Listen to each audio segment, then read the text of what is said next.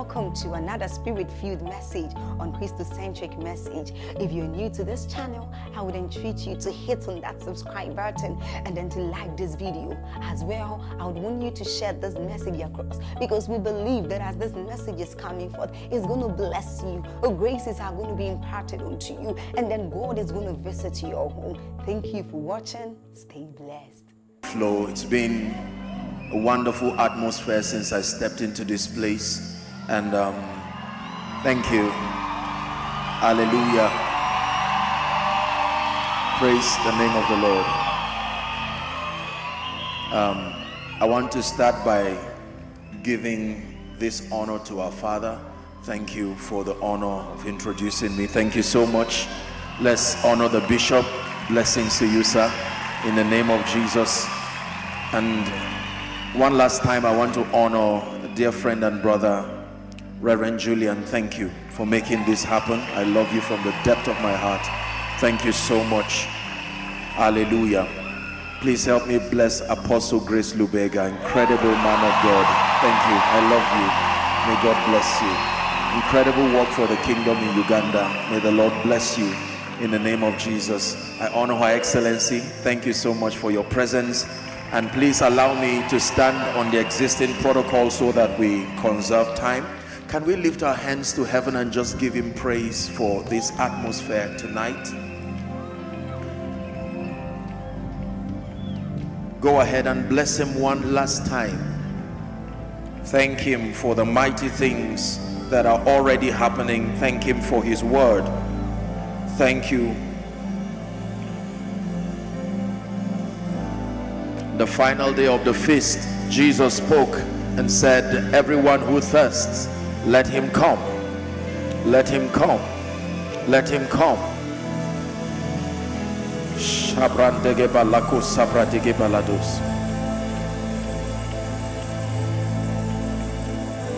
Bless our hearts tonight in the name of Jesus Christ.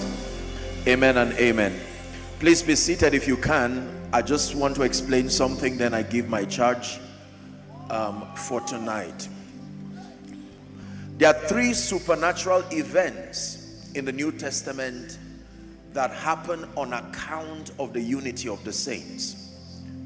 Um, I'm trying to bring perspective and definition to the move of the Spirit we just experienced right now, and I believe it's ongoing. It's important that we have spiritual understanding as to what um, the Lord is saying through these mighty miracles. Three supernatural events happen in the Bible in the New Testament on account of the unity of the saints. Number one is found in Acts chapter 2. The Bible says, And when the day of Pentecost was fully come, that they were gathered together in one accord. One accord. Suddenly, the Bible says, there was a sound of a mighty rushing wind. It came and filled the house. And when you go to verse 4, the Bible says they saw what looked like cloven tongues as of fire, and it came and sat upon each one of them. Verse 3 now says, and they were filled with the Holy Ghost. Verse 4 now says, and they began to speak with other tongues as the Spirit gave them utterance even though it was the day of Pentecost, the Bible says on account of their unity. Are we together now?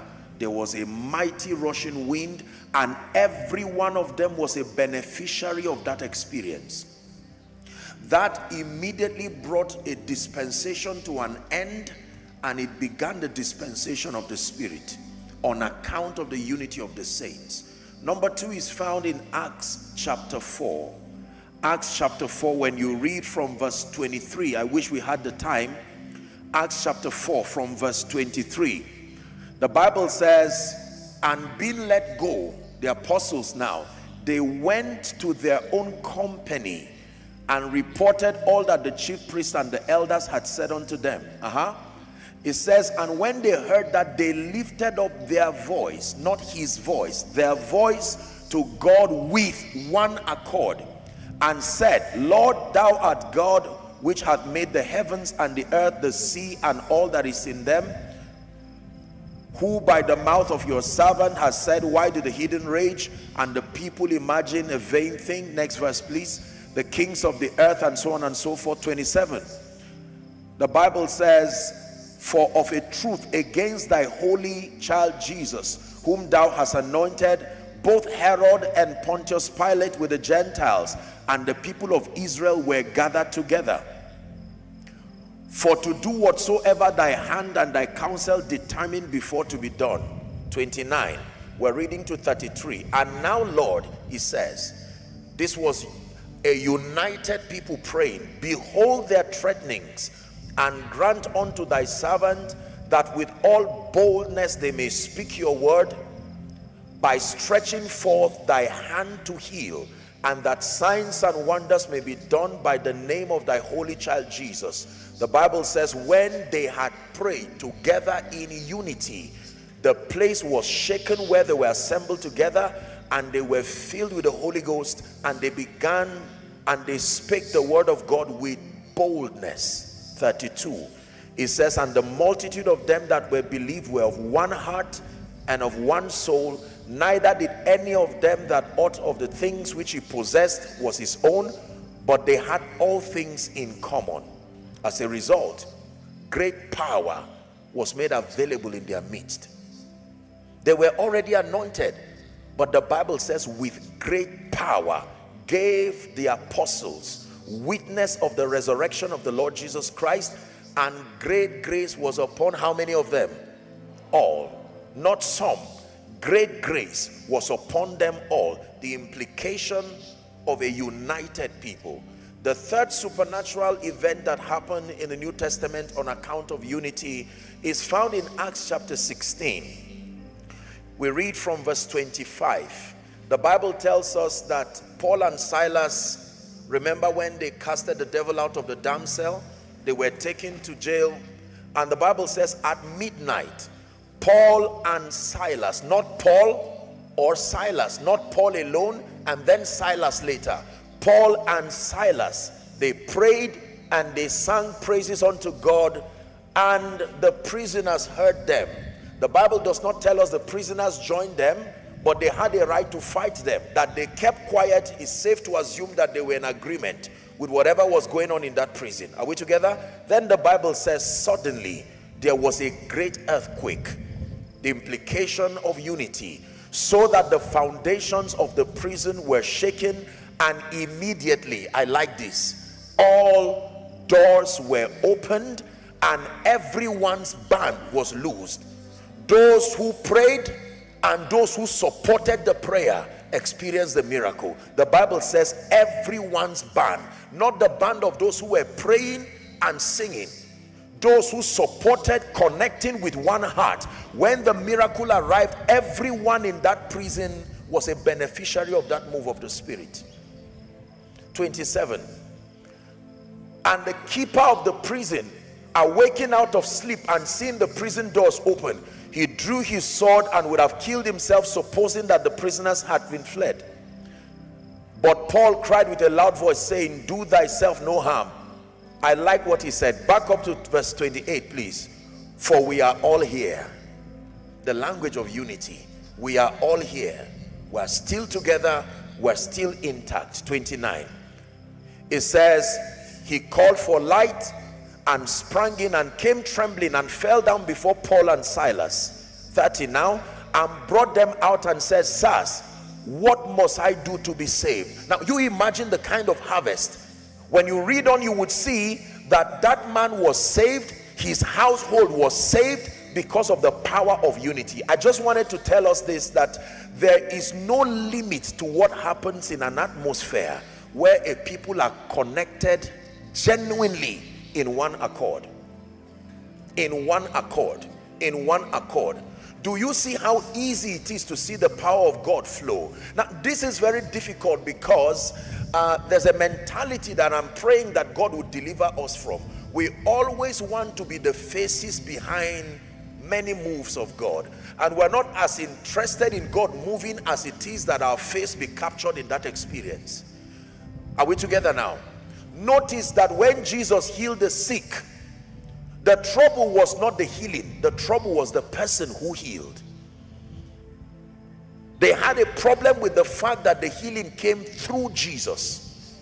And they began to question the man, giving all kinds of flimsy excuses.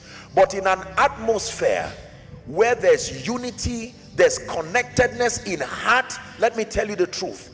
Anyone whether the praise and worship leader even before the man of God mounts the stage you carry this revelation to your churches and right from the opening prayer you will watch people lift up their crutches everybody becomes a partaker of what God is doing. This becomes an antidote to the superstar Christianity that is destroying sometimes men of God. Because when the attention shifts to just one person he becomes an endangered species God's design was never supposed to be for a people to be gathered and then helplessly wait for Joshua Selman or Reverend Julian or Apostle Grace Lubega or everyone man of God to now come and that their arrival signifies the arrival of the miraculous. Now there are gifts that God has given to help the body but it is everyone's heritage in Christ. This is what I want you to understand are we together now?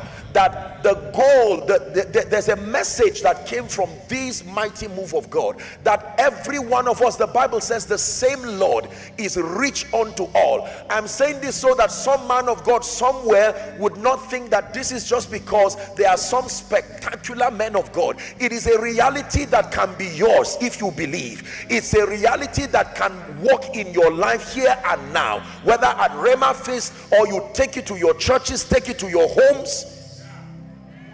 Most of the people who were healed today have believers in their homes and you can take it as a challenge. Are we together now? I just needed to charge our hearts that it is important for us to know that the same holy spirit in our father the bishop reverend julian apostle selman apostle grace and every man of god. That is the same spirit of god in you. The difference is the advantage that one has taken. Are we together now? Taking advantage of the resources of the spirit and has made profit out of it. The bible says he gave unto one five talents he gave unto one two talents. He gave unto one one talent. The common thing in that story is to everyone he gave something but one took a responsibility and made 10 out of 5 2 out of 2 and the other one kept that one talent. There are many people wasting the investment of the Holy Spirit upon their lives while they admire others who have the same Holy Spirit not knowing that they can be guided into an experience that at the end of it there will be men and women of power. Power was not designed to be for men of God. It is the heritage of the saints in light are we together now? This is an orientation that every believer must have. It matters that you know what it means to be a believer. A believer is beyond a church goer. A believer is beyond a congregant. A believer is beyond a helpless person waiting for a man of God to bring healing, to bring deliverance. Now, don't get me wrong. There are prayers that have been, you know, prayer requests here, and we will pray. We will do our due diligence as gifts and priests but God's goal is not to keep having a helpless congregation wait helplessly over a man of God. The gifts were supposed to prepare the body that a time will come where we will attain unto a stature in the spirit where the least of us will do the things we now celebrate. The least of us. That you can go to a mall to shop and see someone deaf on one ear and say, please, do you mind that I pray for you? And in one moment the ear pops open and it's, it's so casual because of your consistency. You shop and you go back. This is the kind of standard that God is lifting over the church. You believe that? Shout amen So why does God put together conferences like this and brings these graces? So that through the ministry of the word and the ministry of the spirit, that which is already in you is activated, stirred up. Are we together now? Yes. You are provoked unto godliness. You return back and there is an anger in your spirit the same Lord is rich unto all. And you begin to pray. You begin to build capacity. He's called me to be a believer. He's called listen the call to be a believer is nobler than the call to be an apostle or a pastor because you have to be a believer before you occupy that gift. And it is for the purpose of the believers that these gifts have been given. Who is understanding me so far? It's very important look at your hands and believe that these are extensions of the hands of Jesus. They are not just ordinary hands. You have to believe this. Indoctrinate yourself. Get to a point where you realize that you may fail alone but you and the Holy Spirit cannot fail. You and the word of God cannot fail. Are we together now? You don't have to be in ministry. If we don't teach this our pulpits will be full of people who are not supposed to be there we need to let people know that this is the heritage of the saints in light. It has nothing to do with holding a mic. It has nothing to do with being invited and sitting in front. That the same Lord is rich unto all. You can carry this revelation. Are we together now? And go as an extension of the life the power the wisdom of the spirit to the marketplace to your rooms to your schools and begin to replicate the life of God. This is true don't leave this place just celebrating unusual men of God. Now there's a place for honor. I taught you that.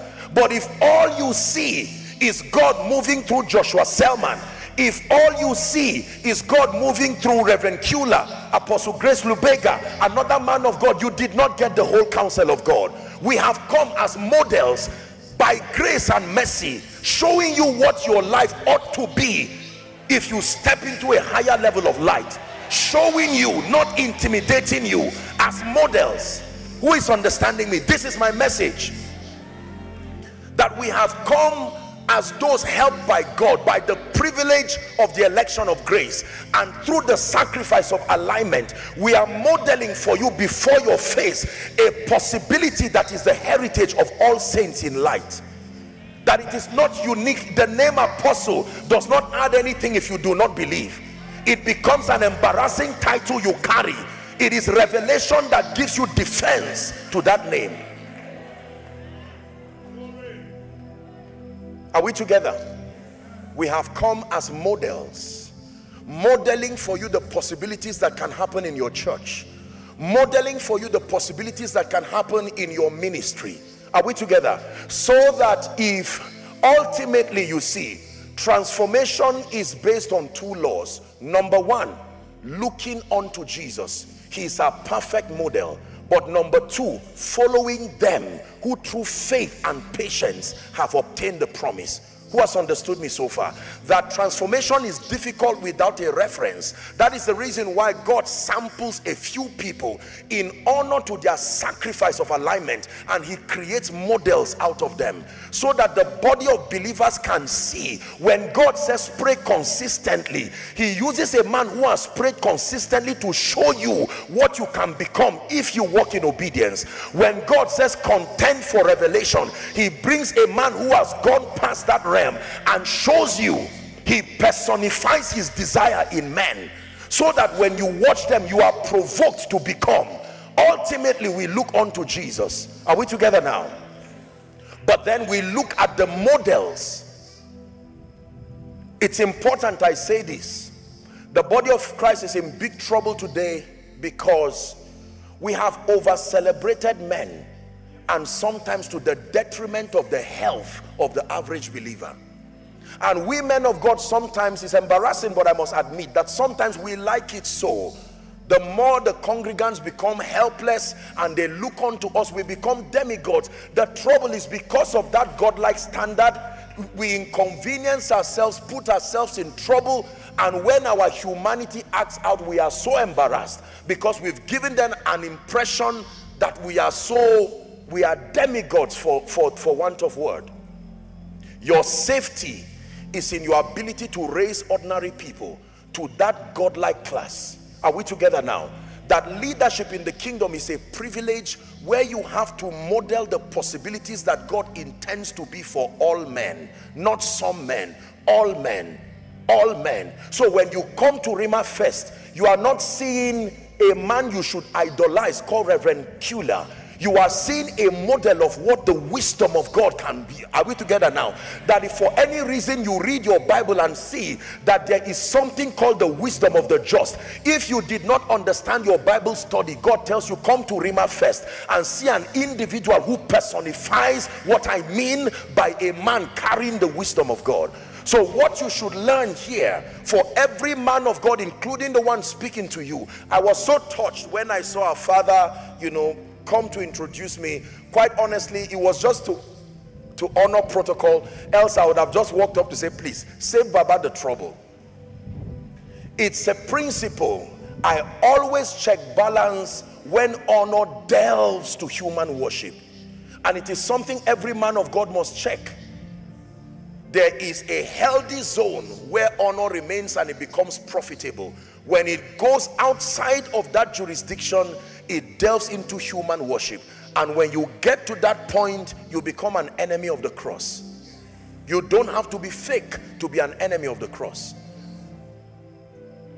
I'm saying this so that some young man in ministry does not leave this conference carrying a motivation to arrange people who introduces you and does a lot of things. It's amazing what people learn in conferences like this.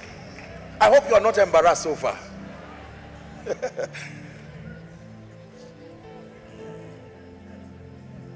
So what do you see when you look at our father, the bishop? What do you see when you look at Reverend Kyula? What do you see when you look at Joshua Selman? What do you see when you look at Apostle Grace Lubega? What do you see when you look at Pastor Poju? What do you see when you see every vessel that was used? If you see an idol, then repent. If you see a model, you got it right if you see a vessel yielded you got it right. If you see a believer who is demonstrating for you here and now the possibilities of the spirit life under the atmosphere of alignment then you are learning well. It matters what you see. The apostle said look on us. Look on us. He says silver and gold i do not have. In truth it's an embarrassing reality but there are certain things we must admit that we do not have. For instance, the ability to be sufficient in ourselves. Every manifestation of the Christ that happens through his vessel is because of our partnership with the Spirit of grace and our partnership with the Word. Who understands this so far? So as you return back to your churches, as you return back to your businesses, when God begins to lift you, be intentional about letting people know that the goal is not to be an idol, but to be a model. The goal is not to be an idol, the goal is to be a model.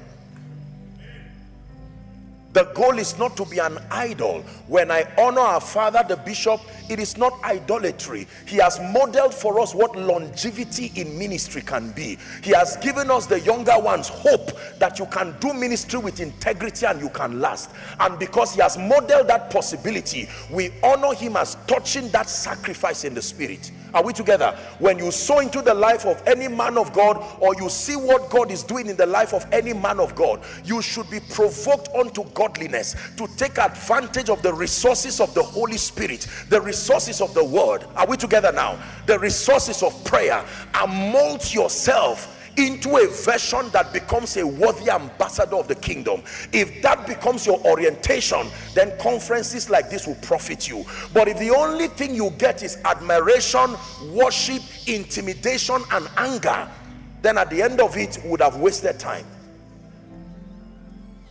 do you understand me so far?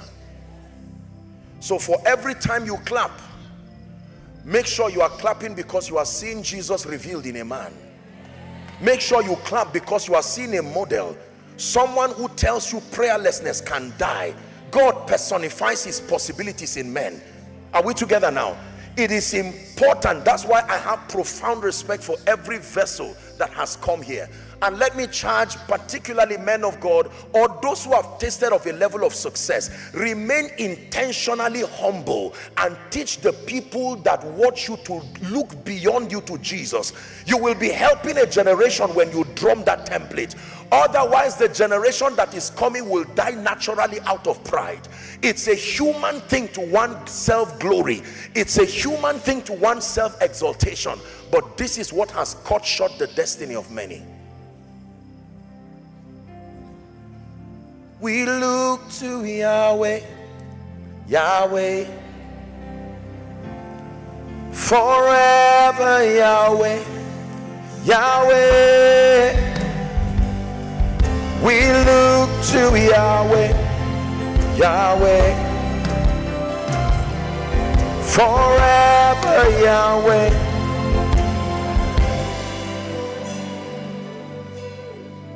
That is uh, years ago the Lord spoke to me and he said if you will let men see me there is nothing I will not give you. If you will let men see me if you learn how to hide behind the cross and let people see Jesus I dread being an idol to anyone.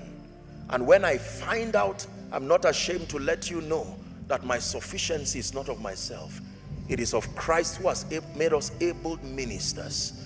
If you are ever blessed by any life it is because of the investment of the spirit at work in ordinary men who otherwise would not sustain that intelligence that power that grace. Who is understanding me so far? I'm taking the time to share this so that you will leave challenged. Are we together? That what you came to see was the power the grace the wisdom of god that has been modeled through men ordinary in themselves but now invincible through the investment of the spirit. So that for anyone who comes to get saved here you know that after a while walking with God you can be turned into the same model you are seeing. There should be many apostle grace lubegas in Kenya rising as they watch him as they drink. You should not drink and remain a member. You should drink and graduate from a member to a believer to a transformed believer to a witness. Only witnesses can defend the purposes of God. It's important that that transition happens that anyone who looks on to Reverend Kyula within Kenya are we together now? You can see that this man has exemplified the wisdom of Christ. That a man can carry the Nehemiah anointing. You can build lives, build systems, and build structures. Now that you've seen that model, you know that it is possible and you can press transformation is difficult without a reference. So when god wants to help a generation he looks for men who become the models of his possibilities. Are we together? And scatters them across every horizon. And he refers a generation to look to those men. He says look unto abraham your father and to sarah that body he says for i called him alone and i blessed him and i increased him. In other words if you want to know what it means to blessed and to be a blessing i refer you to an authorized model called abraham. Abraham is god's idea god's portrait of a blessed man. Your assignment is that through the course of your lifetime you walk with god in such a way that your life becomes a model to a dimension of god. Did you get what i said? That throughout your lifetime you introduce a dimension of God that has not been seen and has not been known that you personify such a possibility of God to a generation that we can know God gives speed not just by reading it in the Bible but looking at a life that has trapped that reality.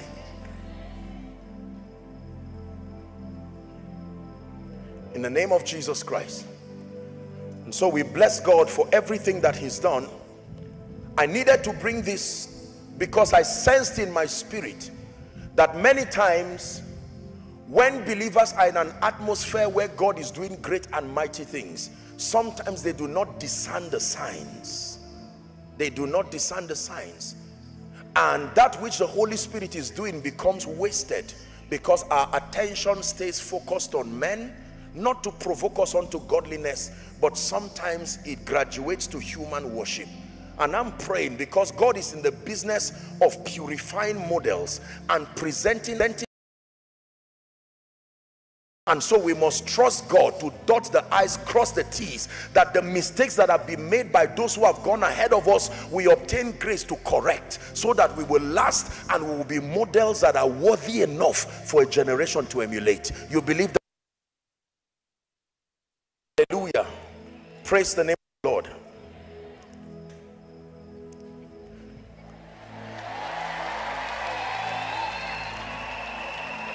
What happened? Praise the name of the Lord. Amen. Oh, I see.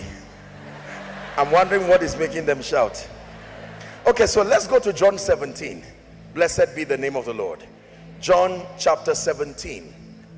My final session will be on the Lord's Prayer. I want to show us a prayer that Jesus prayed for the church because every time Jesus prays for you, you listen to what he said about you. The Lord's Prayer, John chapter 17. Jesus prayed a very special prayer for the church. This was Jesus on his way, wrapping up his assignment upon the earth. And the Bible makes it very clear.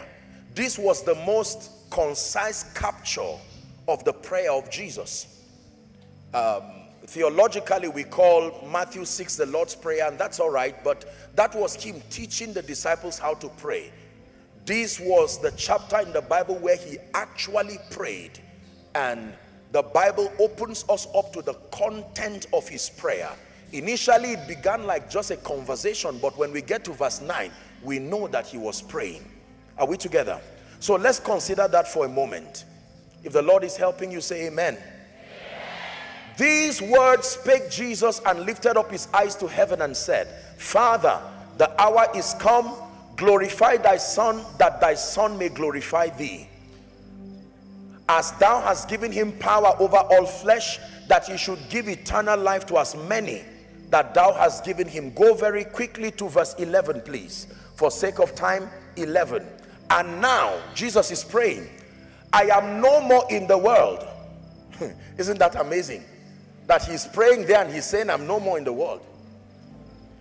But these are in the world and i come to thee. Holy father he says keep through thy own name those whom thou hast given me. Let's read the last sentence together. One to read. That they may be one as we are one. One more time. That they may be one. One last time. That they may be one now, please jump to verse 22 or verse 20. We'll do 20 to 22. John 17, verse 20 now. Neither pray I for these alone, but for them also which shall believe on me through their word. 21. That they all may be one, as thou, Father, art in me, and I in thee, that they also may be one in us that the world may believe that thou hast sent me. Final verse 22. And the glory which thou gavest me, I have given them, that they may be one, even as we are one. The Lord bless his word in Jesus' name. So Jesus prayed for the unity of the church. It, it seemed to be a deep burden that he carried in his heart.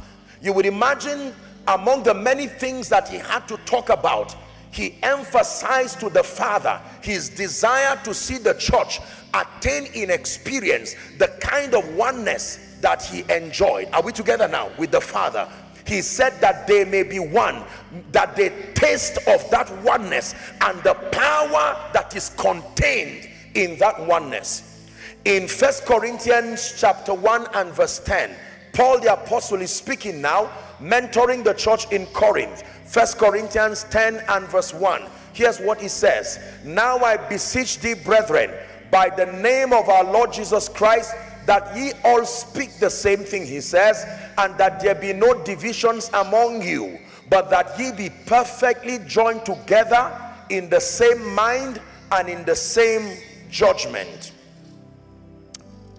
I believe that in my lifetime, that before Jesus returns, that the church will attain a level of unity and oneness as have never been seen in modern history. This i believe if Jesus prayed that prayer for the church then there is an answer that a generation must deliver.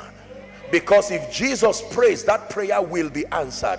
And there has to be a generation that will come into alignment that this prayer as ancient as it is the prayer to be one the emphasis to be one the burden that was in the heart of Jesus before he departed he prayed that all the resources that needed to be in place for the church to attend that state of unity and oneness that it be supplied the saints. And I believe and I pray that will be that generation that will be able to reveal the oneness of the kingdom and the power that is contained the power that is embodied within the church when we attain that state of oneness. You believe that? Shout amen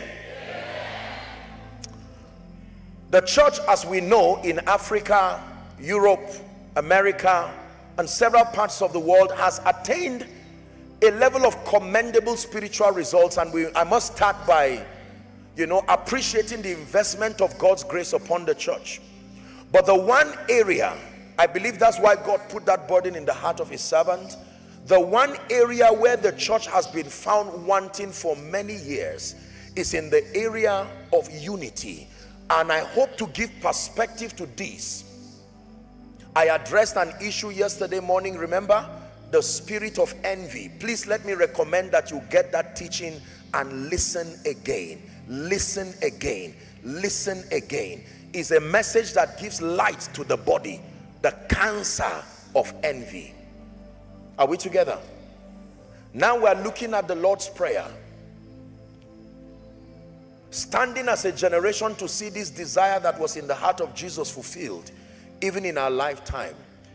And as a charge I want to share with you a few keys that I call enhancers, enhancers to unity, enhancers of unity, that it is possible for the believer corporately to step into that realm of unity and that there are a few factors a few keys in the spirit that if we lay hold of we can attain to that state where we become a united people.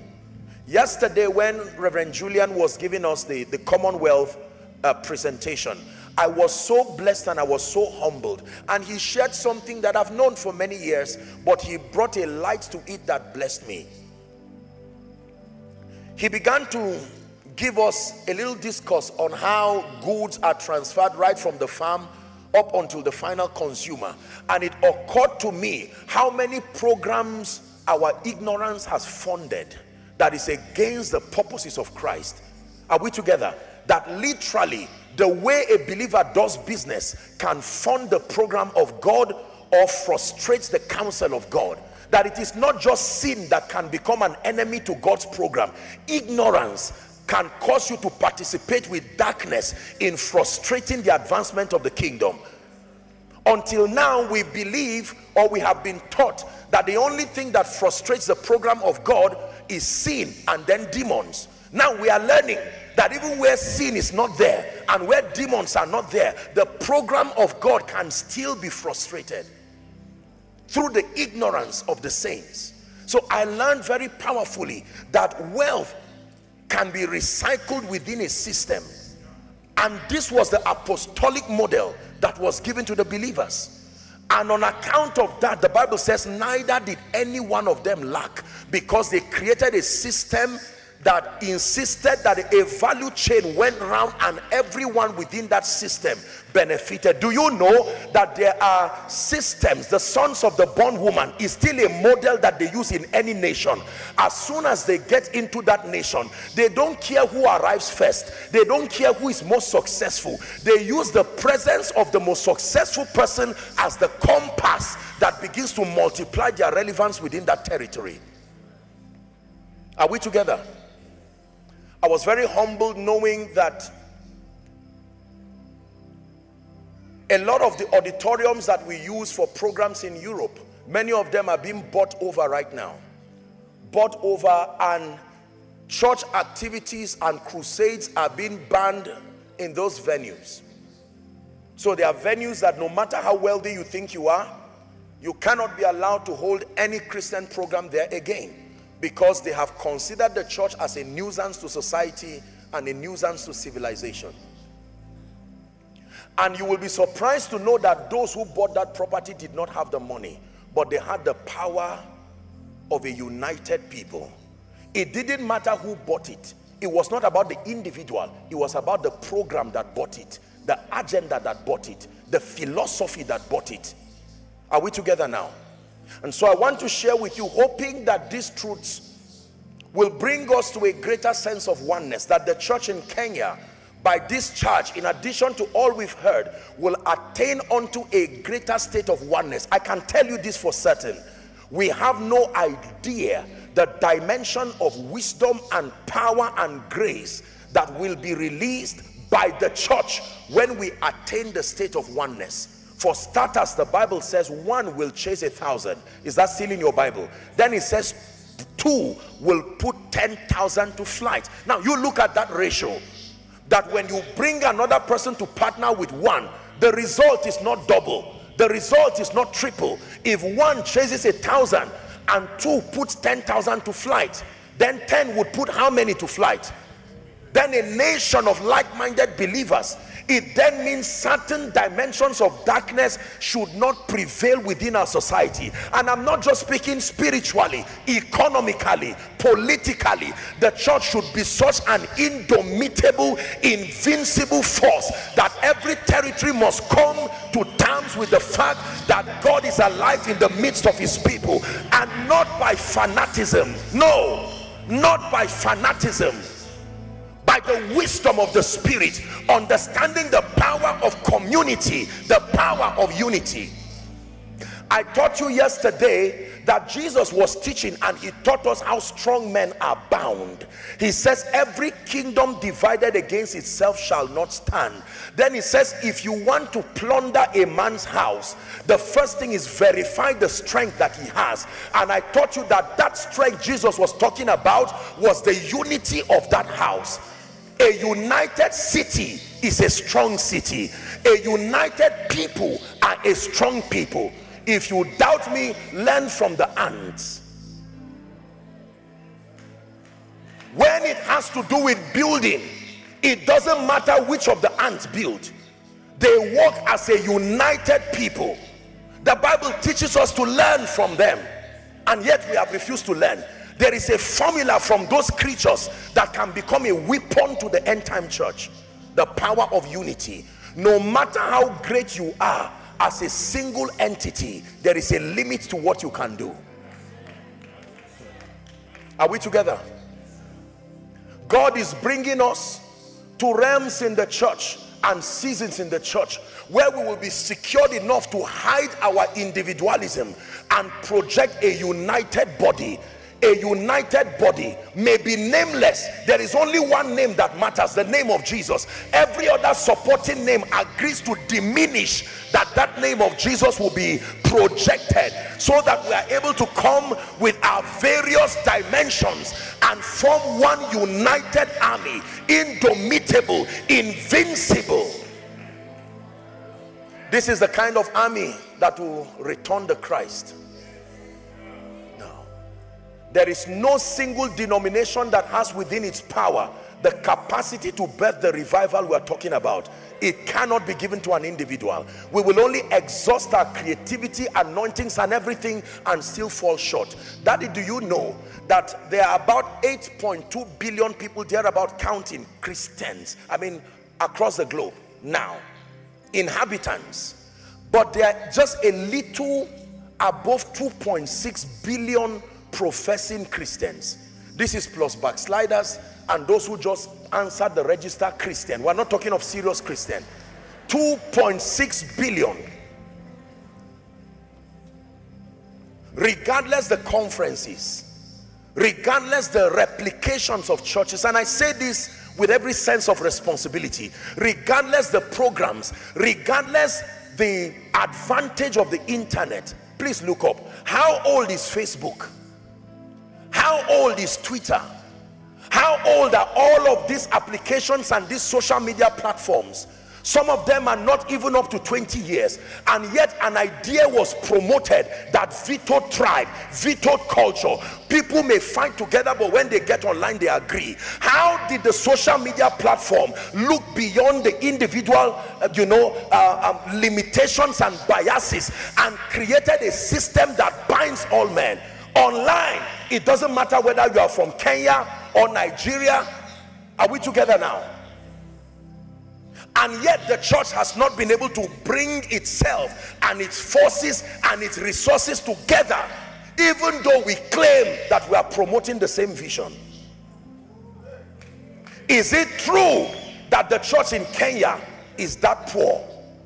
Is it true that the church in Nigeria the church in America the church in UK is that limited that to fund a kingdom program people will have to tilt towards the corridors of compromise.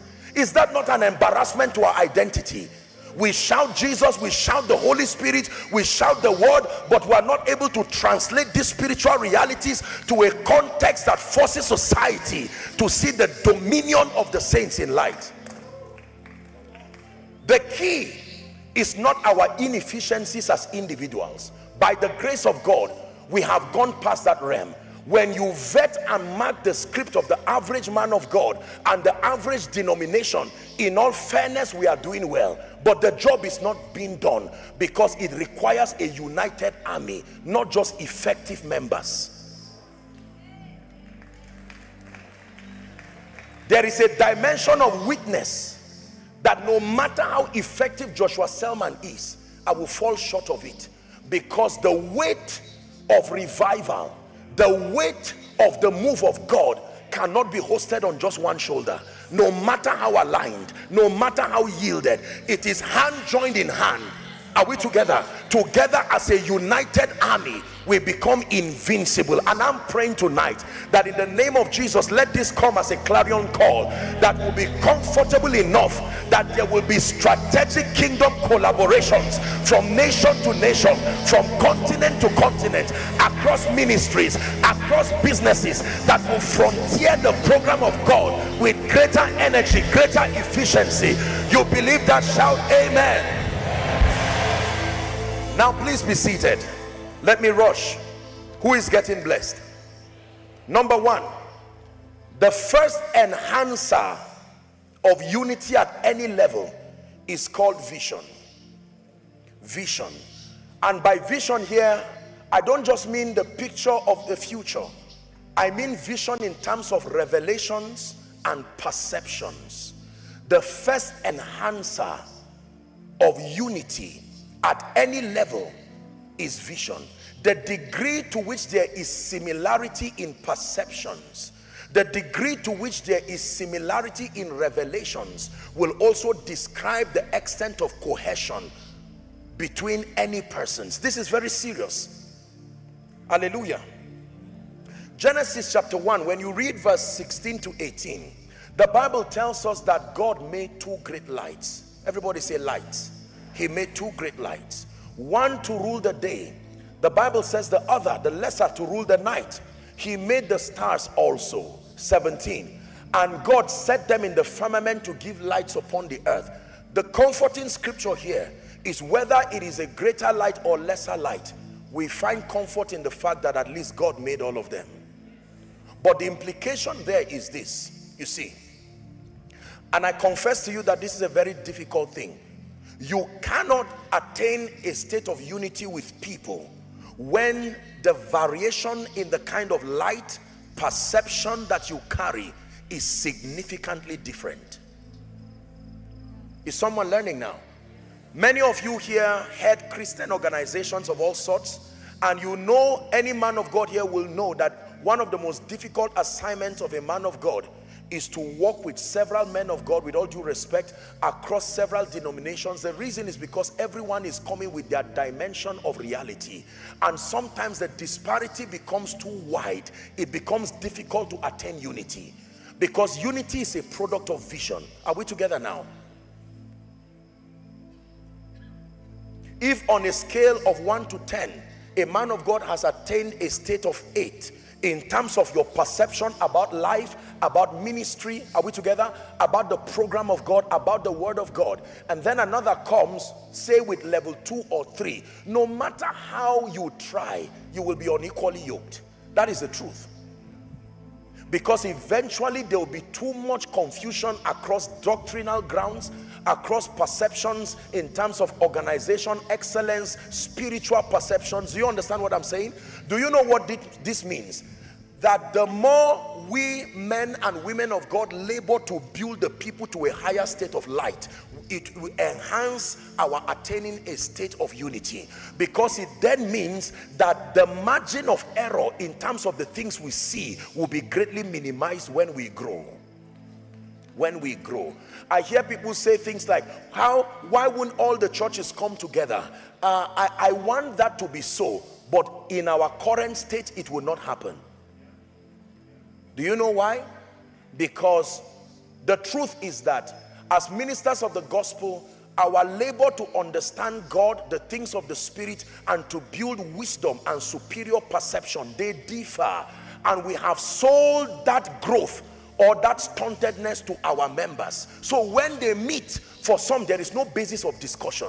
One person is trained to speak failure. One person is trained to speak defeat. One person is trained to never even see a possibility of a great destiny. Now you are asking that person to be united with someone who has been trained trained to see things from a victor standpoint trained to have a winner's mentality it cannot work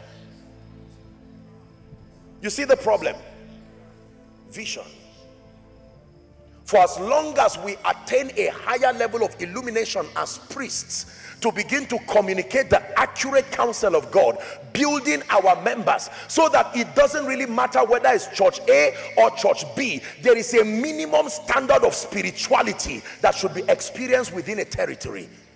The spiritual state of any territory is a reflection of the quality of spiritual voices that lead that territory. So if a territory has defeated Christians, losers, spiritually, economically, something is wrong with the content that is being served them per Sunday, per weekday, per conference. If we really mean the business of unity, then every man of God needs to humble himself, return back to the drawing board and vet the kind of meals we are serving believers within a territory. As much as I love the body of Christ I am jealous with a godly jealousy over those who have been committed to my care. Is someone learning now? And I will not allow anyone to intentionally come and destroy the pace of their growth. They are becoming they are attaining. They are seeing the value of the Holy Spirit the value of prayer the value of productivity and I will not allow them to mix away carelessly with thoughts that become defiant. The first thing the Lord asks Eve is who told you? You've exposed yourself to an information that is outside of what I told you. Your victory was tied to what I told you. Now you have opened up yourself. The Bible says, I fear lest as Satan beguiled Eve, Eve was beguiled through words. She exposed herself to an information that gave her a loser's mentality. So if we are talking unity, we have to go back to understand doctrine and the ways of God accuracy uh, with, with accuracy. Don't tell me to be united indefinitely. I love everyone around me, but if they refuse to grow, they will alter the pace of growth, the pace of becoming. I love the body of Christ, but I'm not going to give the mic to a man of God who will come and destroy the spiritual pace of growth of my people. It's not about hatred, it's responsibility of priesthood. Who is leading tonight? So, the first enhancer to unity is we must rise to a point where our perceptions, our revelations, our doctrinal content our understanding about God that it rises to a level a threshold level where listening to you becomes an advantage to my spiritual life. That any man of God who stands on stage and preaches at least you are sure that are, the, the, margin of error is too small. You are not afraid of your member listening to another man of God. Not because you hate them but because you are afraid of what you have to labor correcting again.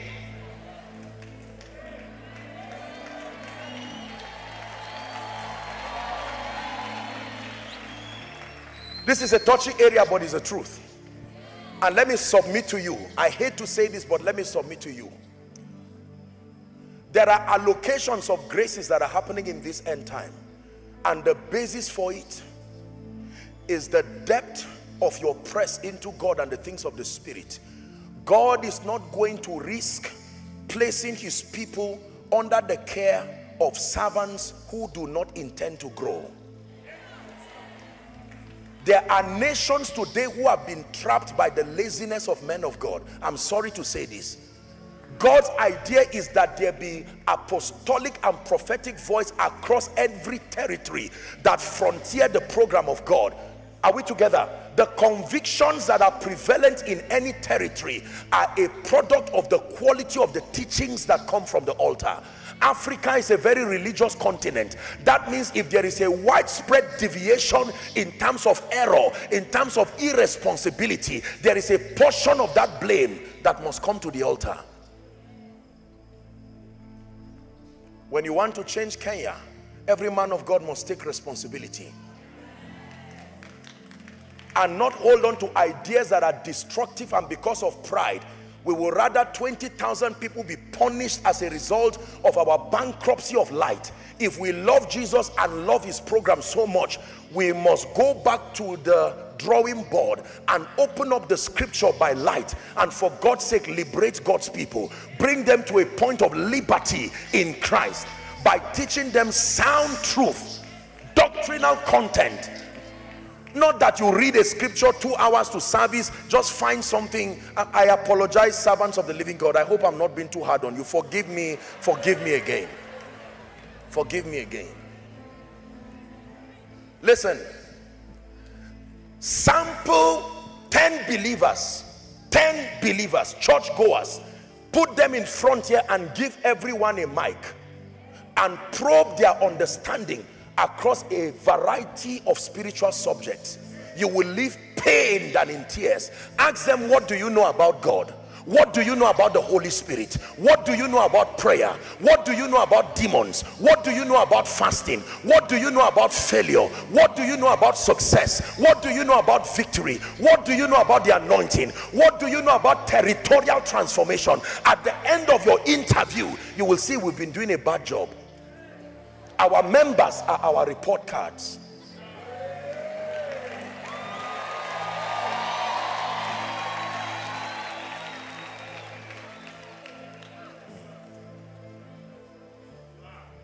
Yes, sir.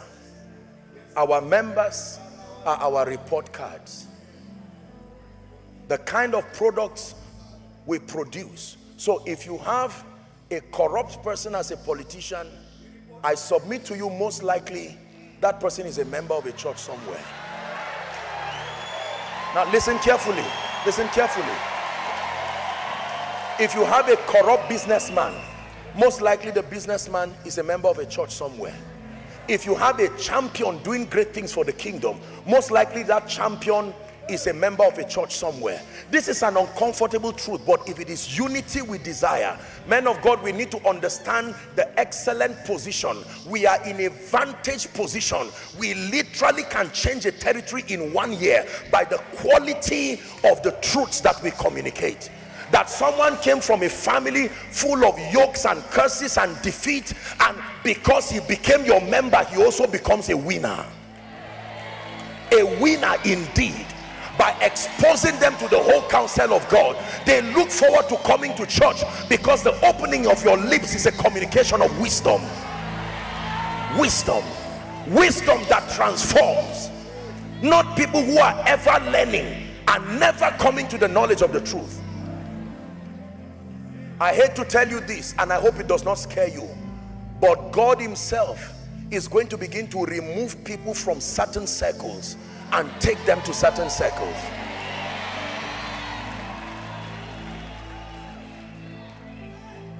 When he came for accountability he collected the talent from the one man who was careless and did not appreciate stewardship. He didn't take it back. He gave it to the one who had demonstrated the use there are men of God who labor day and night. They sacrifice to make sure that every time they stand on the pulpit they are communicating light with accuracy liberating light. They pray and they fast not just for themselves. God is not unjust he will not give such a person membership and give such a person growth and influence to match someone who is carelessly freelancing ministry and not being serious. God is just. He sits upon a throne that is made up of righteousness and justice.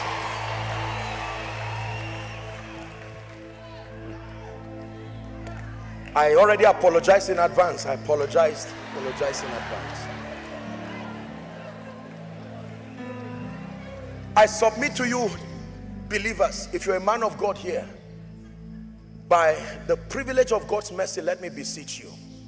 Please go back and re-examine what you are doing called ministry.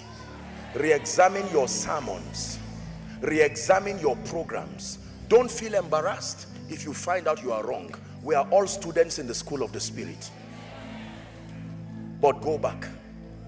You will be held accountable for God's people that you mislead you will be held accountable for the consequences of your pride on God's program over a generation.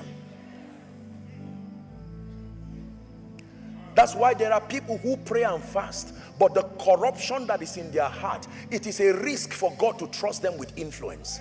It is a risk for God to trust them with access. There is a kind of wisdom they cannot find because their hearts are not malleable. They do not understand God's program you want to see unity in Kenya? You want to see unity? It starts with the word. The quality of truths that shape the convictions of our people. It is that information they take to the banking sector. It is that information they take. If you teach them leadership, it will speak in their companies. If you teach them productivity, it will speak on those who are roaming around the streets. Are we together now? If you teach them responsibility they will stop blaming everybody for their state and take responsibility over their lives if you teach them to pray and the power of prayer it will tell on their results. If you teach them that the anointing is not an exclusive reserve for men of God they will take advantage of it. They will use the anointing in school. They will use the anointing while they are working with their colleagues. They will use it in sports. You will see a replication of what you see on the altar across society. Vision you want to see unity? We we have a great job to do dear men and women of god. We need to catch up with this curriculum of transformation because some of us are too slow. I do not believe and and forgive me but i do not believe any faithful member should sit under a pastor for two years and not be able to defend their spiritual understanding. Something is wrong now, don't say tell them. God is speaking to all of us. Are we together now? Don't say tell them. We are matured people here. Don't say tell them. And you see, listen, there are many younger people who are rising to complicate this error. They will not learn. They trivialize the sacrifices and the results that are produced from veterans in the gospel because they do not know that he that strives for mastery is not crowned unless except he strives lawfully. Consistency in the spirit is not luck. No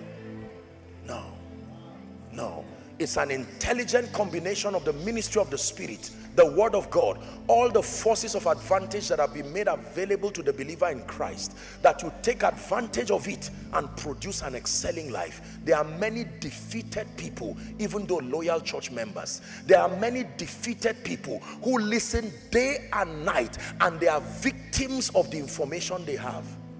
This narrative must change if we want to see a winning body. If you believe that say amen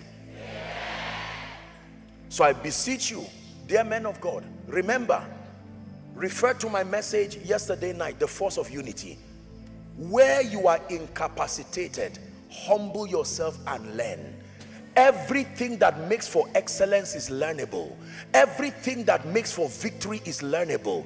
Everything that makes a victor is learnable. If you are doing ministry the wrong way there are enough models for you with humility to correct yourself. It is cheaper to correct yourself than to embarrass yourself. I'm not ashamed of learning anything i need to learn. I am not too big to learn. No this this pride has been the cancer that has destroyed unity. Because even for those who know they are in error they rather remain there. The embarrassment of transformation looks too much. They would rather thousands of people get punished because of their ego. But God himself is moving across his body. He will not allow his people to be in bondage. Are we together now? And let me tell you this dear servants of God you want to be at the cutting edge of God's program? Forget about social media and focus on the word. You can be there from morning till night and nobody will place a demand upon the grace of God that is on your life because you need to build capacity. Paul can plant Apollos can water but increase is exclusively of God.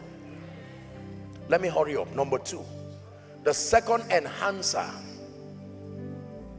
of unity if we want to see unity the prayer that Jesus prayed that will be one is love. John 13 35 love.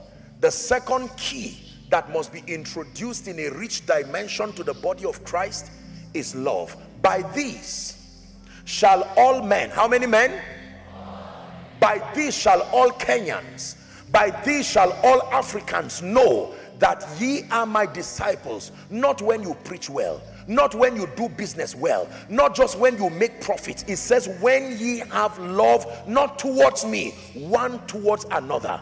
The level of sheer hatred that exists within the body of Christ needs to be tamed. We need the blood of Jesus upon the body of Christ fast else we'll kill ourselves by ourselves. Pastors hating one another for various reasons and justifying hatred with scripture. No sir. There is no excuse for hatred. Businessmen hating one another.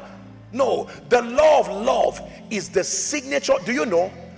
The bible talks about the fullness of christ. And there are three dimensions to the fullness of christ. Let me just do a crash course so you learn when the Bible says that Christ desires for his fullness to be expressed in believers, there are three dimensions to the fullness of Christ. Number one is called the nature of Christ. That is the first dimension of his fullness. The second is called the wisdom of Christ, the ways of Christ. The third, listen carefully, is called the power of Christ, the works of Christ, the nature of Christ, the wisdom of Christ, the works of Christ, if it finds expression in a believer, that believer is delivering the fullness of Christ. Every corruption in God's program is because one of these dimensions was emphasized above another. Is someone learning now? So there are people who emphasize what they call the nature of Christ and downplay the wisdom of Christ and downplay the power of Christ. They will produce a people who are full of piety, holy, sincere, but unproductive, mediocres because they do not have the wisdom of Christ and there are people who have accessed the wisdom of Christ but they did not start their journey by embracing the nature of Christ. So they have people who are wise and intelligent system builders but they are corrupt. No character. You do not see moral excellence but you see exploits. And then there are those who have embraced the power of the Christ bankrupt of the wisdom of Christ bankrupt of the nature of Christ. You see people fall down left right and center but they don't build anything and they don't look like Christ. Hmm. the nature of Christ the wisdom of Christ the works of Christ is a holistic capture of what the Bible calls the fullness of Christ. I said that for a reason let's go back to the nature of Christ do you know that the nature of Christ is love the Bible says God is love does not say he has love God is love. That means the zenith of a believer's transformation is not enlightenment, is having the nature of love. You are as matured as the degree to which love has grown in you, not revelation. Revelation is not the ultimate proof of maturity. It is the nature of love. Are we together now? It says, though I speak with tongues of men and of angels, is that not in your Bible? And I have not love, I am nothing. Though I understand all mysteries, that's wisdom there. We need to let the body of Christ know and our territories know that we have attained unto maturity, not just by sound exegesis of scripture, but the nature of love. Someone say love. One more time, say love. We need to cry out from the depths of our heart that God will return love. The level of hatred, I'm saying this again. Do you know the pain of many in the body was caused by those within the body. There are many pastors bleeding today, courtesy other pastors. There are many churches today that are struggling managing unnecessary issues because of the antagonisms that came within the body. Now, in biology and in medicine, there is a disease where the immunity of an individual begins to fight the body by itself. Have you seen such a thing? I'm not a doctor, I don't know the name, forgive me. Autoimmune something What's it called? God bless you, doctor. Are we together now?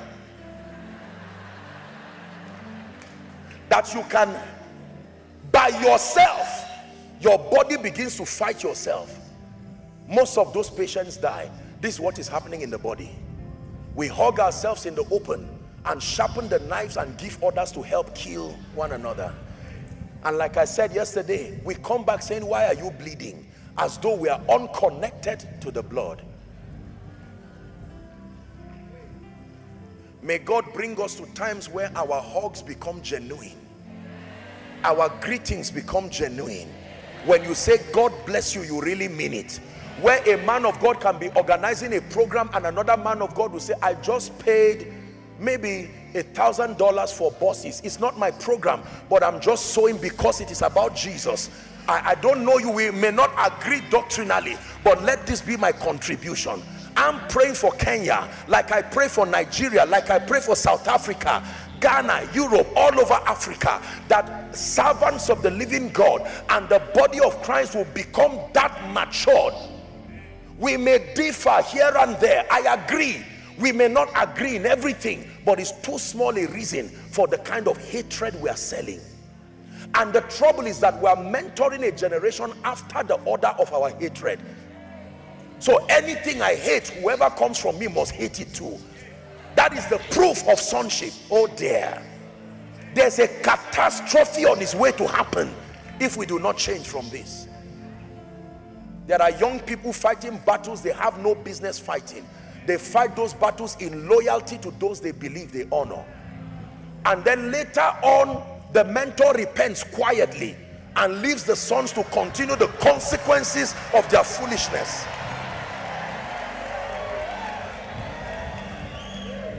Let me charge you. Listen young people who are in ministry listen to me. Make sure the person you are following is following Christ. Did you hear what I said? Make sure the person you are learning from is learning Christ. Look at two people before you follow. The one in front of you and who the, the person in front of you is looking at. If he's looking at something else politely without fighting, without tearing him. Be on your way and look for Jesus genuinely so you don't waste your journey.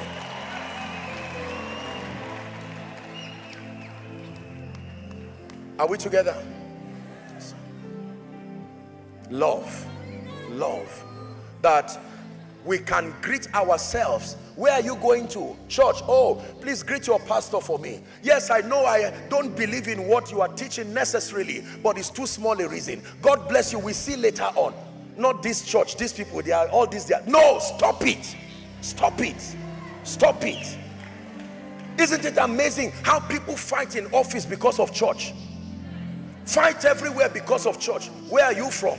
I'm from this place. Okay that's it it's as if they are infected with some virus stop it i'm telling you this you never win when you hate it is love that never fails It is love that never fails. It is love that never fails. It is love that never fails. Pastors, let me tell you the truth. No matter how exclusive you are or you think you are, is the same heaven we are going to. So I don't know what is going to happen to us when we get there. I pray my seat is close to Reverend Julian and Apostle Grace Lubega. we act as if there is a unique heaven created for no let me tell you this most of this hatred is not a spiritual issue it's a product of wounded childhood. You believe me on this. We only spiritualize it and make church the template. It's not true.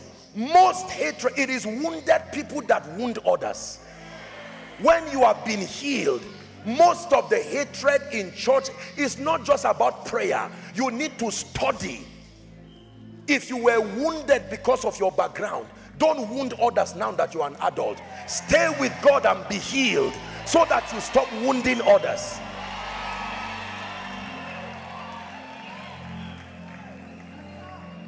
Number three.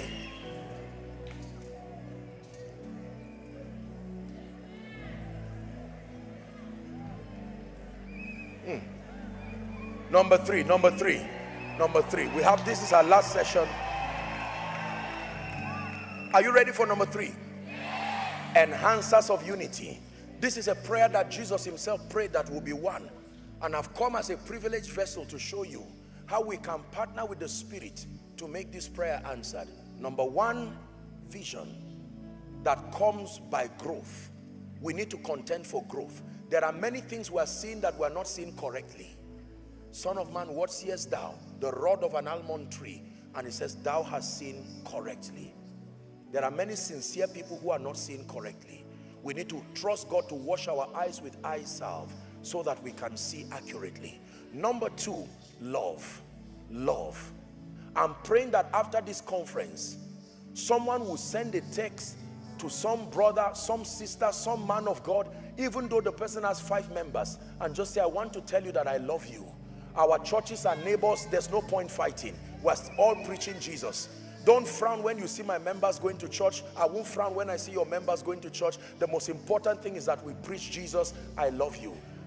Our results may not be the same. Don't be confused about that. But I still love you.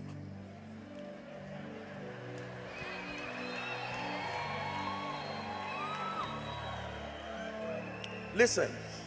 Number three, I need to hurry up. The third enhancer of unity is called mutual honor. Mutual honor. Don't write honor. Mutual honor. Mutual honor. Let me finish up. Romans chapter 12 and verse 10. Can you, if you are getting blessed, shout a loud amen. Let's read it as loud as you can if you can see. Ready? One, two, go. Be kindly affectioned one to another with brotherly love in honor preferring one another. Philippians chapter 2 from verse 1 to 4 mutual honor. Honor cannot be one-sided. There cannot be unity when honor is one-sided. Are we together now? If apostle grace lubega appreciates me and i do not reciprocate it you see there'll be trouble. If reverend julian appreciates me and I do not reciprocate it. This is what has caused disunity in the body. There are people who only receive, they don't give. They trivialize the sacrifices of others, but they want the applause of everyone. Unfortunately, everyone, no matter how great and small, if sincere, are making great contributions that deserve to be recognized and appreciated. Remember my message yesterday? That the highest psychological need of any man is the need to feel loved, valued, and appreciated. When you downplay a man of God, yes, you may have more results than him, but it's too bad, it's too small a reason to look down on him. Honor must be mutual to be profitable. Philippians 2. If there be therefore any consolation in Christ, if any comfort of love, if any fellowship of the spirit if any bowels and mercies reading to verse 4 quickly fulfill my joy paul says that ye be like-minded having the same love being of one accord of one mind. Verse 3 it says let nothing be done through strife. Body of christ hear this. Or vain glory but in lowliness of mind let each esteem other better than themselves. Verse 4 it says look not every man on his own things but every man also on the things of others. Mutual honor. You call me apostle joshua selman but you're a great man of god. I do not know you but i appreciate you. I hear you're a great man of God doing, serving God wherever, just to let you know that I honor you. In Africa, because of our background, we interpret that as reducing yourself. No, you don't do that. Don't look down on others. Don't make people uncomfortable because you suddenly appeared. Are we together? We do that as business people we do that as pastors. It may be sincere, but we need to work on it. That's why sometimes you see me try to manage these things, you know, when you are stepping in, especially for some of us who God has really helped by his mercy. Sometimes you can't stop this. People appreciate you, but I always make sure that I don't give a negative feedback, a negative energy, that my presence should not bring intimidation to any man of God. For God's sake, we are laboring together. We are co-laborers. We may have different rankings in the spirit, justifiably so, but everyone should respect another. From the young boy having a little prayer group somewhere in Kenya to the highest man of God, everyone serving the Lord, whether in ministry or in business, is deserving of mutual honor. Mutual honor. If I meet her excellency, even though I'm a man of God, I must appreciate her. God bless you. As touching her capacity, I meet elders, I appreciate them. A little boy, one of these my young sons, I don't know where he is. Look, look at him here. He walked up to me while I was standing. In fact, come and give me another hug. Come, come, give me a big hug this this my lovely son. I was i was do you know? I was i was sitting there and he just walked up to me wanting a hug. Some of you will flog this boy because you are too anointed to hug a little child. Oh no no i came for a service like this. Why should a little boy you see jesus said let the little children come to me. He says and do not forbid them for the kingdom for such God bless you, my dear. Go back to daddy, huh? Thank you. Are we together? Mutual honor. Leave this service today respecting everyone you see. From the media people, spouses, respect yourselves. Husband, don't return back home as Alpha, Omega, beginning and the end. No, sir. No, sir. No, sir. No, sir. Don't tell me this is Africa. There's a place for respect, but respect must be mutual. And let me balance it. Wife, don't listen to me now and misbehave after this conference and credit your misbehavior to my sermon.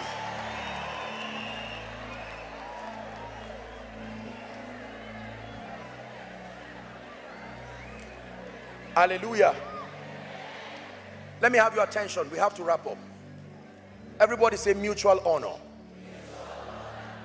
Superiors and bosses and CEOs, go back to work on Monday. Try this. Gather your staff for a brief 10 minutes meeting and tell them, listen, I just want to take a few minutes to appreciate all of you in this organization. I know your labor and your contribution, but I have learned. You don't need to tell them you came for Rhema Feast. Tell them I have learned by superior mentorship I have learned to appreciate your valuable contribution. Just to let all of you know that I cherish you together as a team we'll take this organization to the next level. You try it and watch what happens. Versus opening the office door and embarrassing someone older than you just because you employed him and insult the living daylight out of him as proof that the boss has come. No mutual honor Mutual honor. Mutual honor. Mutual honor. Look at someone by your left and right and tell them, I honor you sincerely. Say it again, I honor you sincerely. I may not know your name, I don't know what you do, I don't know your level of success, but I honor you sincerely. Praise the Lord. Let's go to number four very quickly. Number four, number four, we have to pray. Number four, the fourth enhancer of unity is called forgiveness and forbearance. Forgiveness and forbearance. Forgiveness and forbearance. Ephesians chapter 4, please. Give us verse 31. Ephesians 4, verse 31. Forgiveness and forbearance. Kenya, body of Christ, East Africa, Africa, listen to this. Let all bitterness and wrath and anger and clamor and evil speaking be put away from you with all malice. Next verse, please. And be ye kind one to another, tender hearted, uh huh, forgiving one another, even as God for Christ's sake has forgiven you. There is nobody, no relationship, regardless what kind of relationship, thrives without the fortitude to practice forgiveness. For as long as you are relating with humans, there will be a need to forgive. Now, there is a difference between forgiveness and forbearance. Forgiveness talks of granting pardon to an offender. Tolerance means accommodating the limitation of that individual because it will happen again. You need to have the capacity to both forgive and forbear. I would always give this example teaching my people. If a noisy person tells you sorry, I won't talk again. He does not need forgiveness. He needs forbearance. 10 minutes later, he resumes. Such a person does not need forgiveness.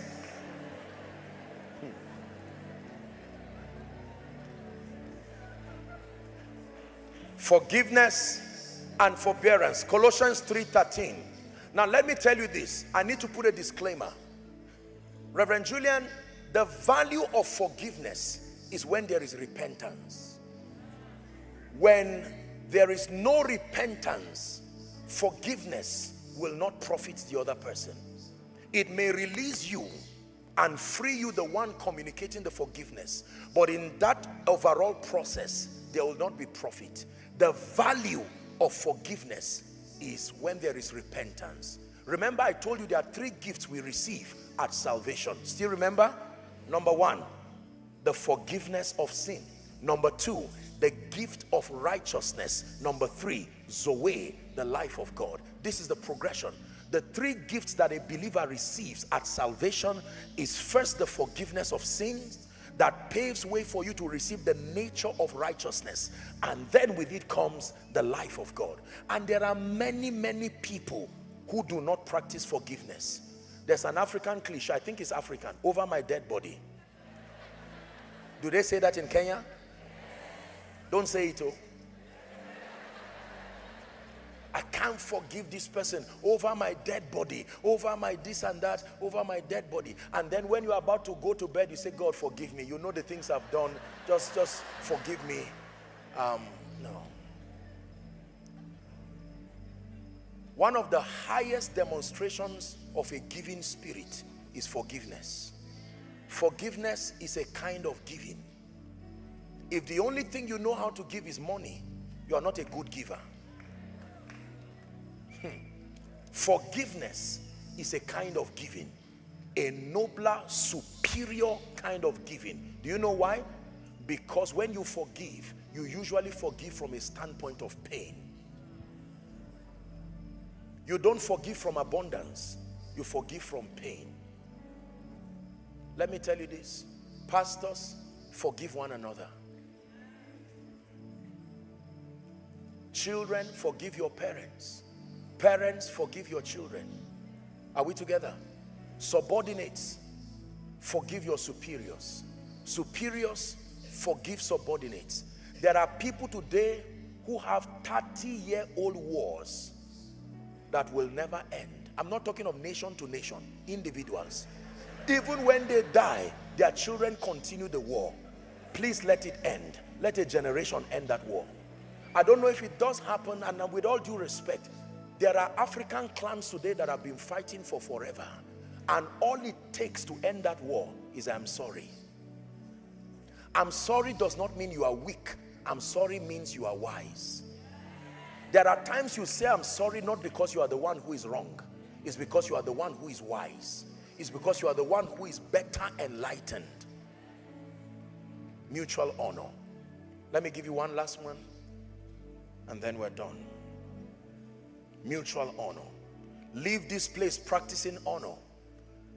The fifth, and that will be the final key, that is an enhancer to unity, is called the practice of intercession. The practice of intercession. First Timothy chapter 2, 1 and 2. When we learn to intercede for one another, it becomes an enhancer to our being united.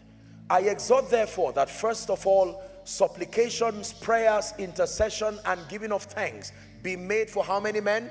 All men, all men, all men, all men, all men. Verse 2.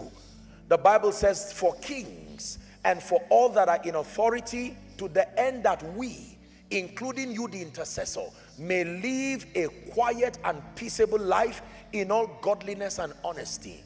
Many believers are part of the system that creates division within the body because we are not intercessors.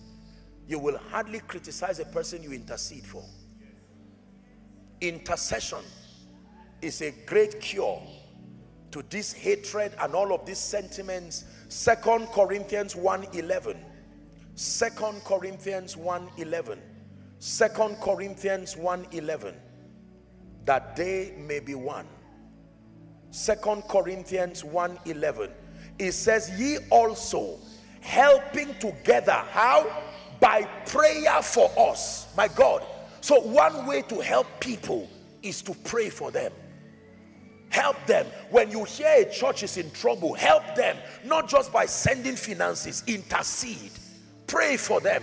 When you hear that someone's business is failing you help by praying we also helping together by prayer by prayer by prayer for us. He said i know that this shall turn for my salvation through your prayer and the supply of the spirit of christ jesus. Through your prayer it shall turn for my salvation through your prayer, not through your mockery, not through your mockings, not through your ill speakings. If we reduce half the time we take to gossip, to talk, to plant seeds of discord, and convert that energy to intercession, it will become a force of cohesion within the body. We are experts at selling bad news, selling narratives, selling rumors. Have you heard? I hear that this pastor collapsed somewhere. Maybe he's about to die. How does that profit the body? Why not sow a seed of intercession? I may not know what is wrong with his life, his family, his church, his health, but I pray for him. Lord, for your name's sake, preserve your name over the life of this man. Preserve your name over the life of this intercessor. The believer who intercedes is the one who can easily walk in love. A body that intercedes for herself is the body that remains strong. Are we together? One final scripture. The practice of intercession. Colossians chapter 1 and verse 9. Colossians 1 9. For this cause, Paul is speaking we also, since the day we heard it, I like that scripture. It doesn't matter what you heard. Since the day we heard the news, our response was we do not cease to pray. Leave the other part. I just want to take the A part.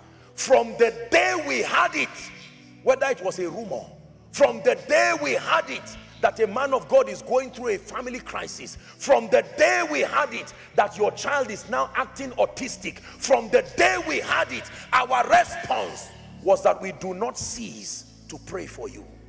That is the believer's response. You hear that a family is losing loved ones rain washed down a church there's trouble somewhere a man of God is going through some crisis somewhere, from the day that you hear it, your response is that you do not cease to pray. Do not become the promoter of the pain of another person. From the day we heard it, it doesn't matter what it is you heard. If you heard that Reverend Julian is doing a great thing, there's a great business, you know, he's opening up the, the Commonwealth platform. From the day you hear it, you sow that seed of prayer. Lord, it will work. Raise partners across Africa, raise partners across Europe. Are we together? The day you hear that some man of God is sick, maybe battling cancer somewhere, don't just rejoice and say, and he says he has faith. That is a foolish believer's response. Wise believers in the kingdom, the day they hear anything, their first response is prayer. You bow your knees and you say, This man is a father in the land. Lord, let him transit with honor and nobility for the sake of those who look up to him. Let him not die the death that discourages the body. Preserve your name over the health of this man. This is how believers live. Who has learned something tonight? Enhancers of unity. We're about to pray. Number one, vision that comes through growth to agree on the same thing to see similar things in the spirit, to attain a commendable level of light, it enhances cohesion. Number two, love, genuine love. Number three, mutual honor. Honor one towards another regardless social stratification, regardless results, regardless achievements. Number four, the practice of forgiveness and forbearance. And number five, the practice of intercession. I will stop here. Let's pray. Please rise up on your feet. Rise up on your feet.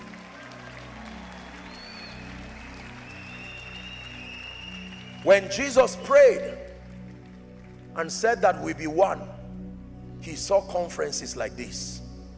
When Jesus prayed, he prayed that prayer confidently because he knew that one day a Rhema feast will be put together that will allow an opportunity to let this unity be attained.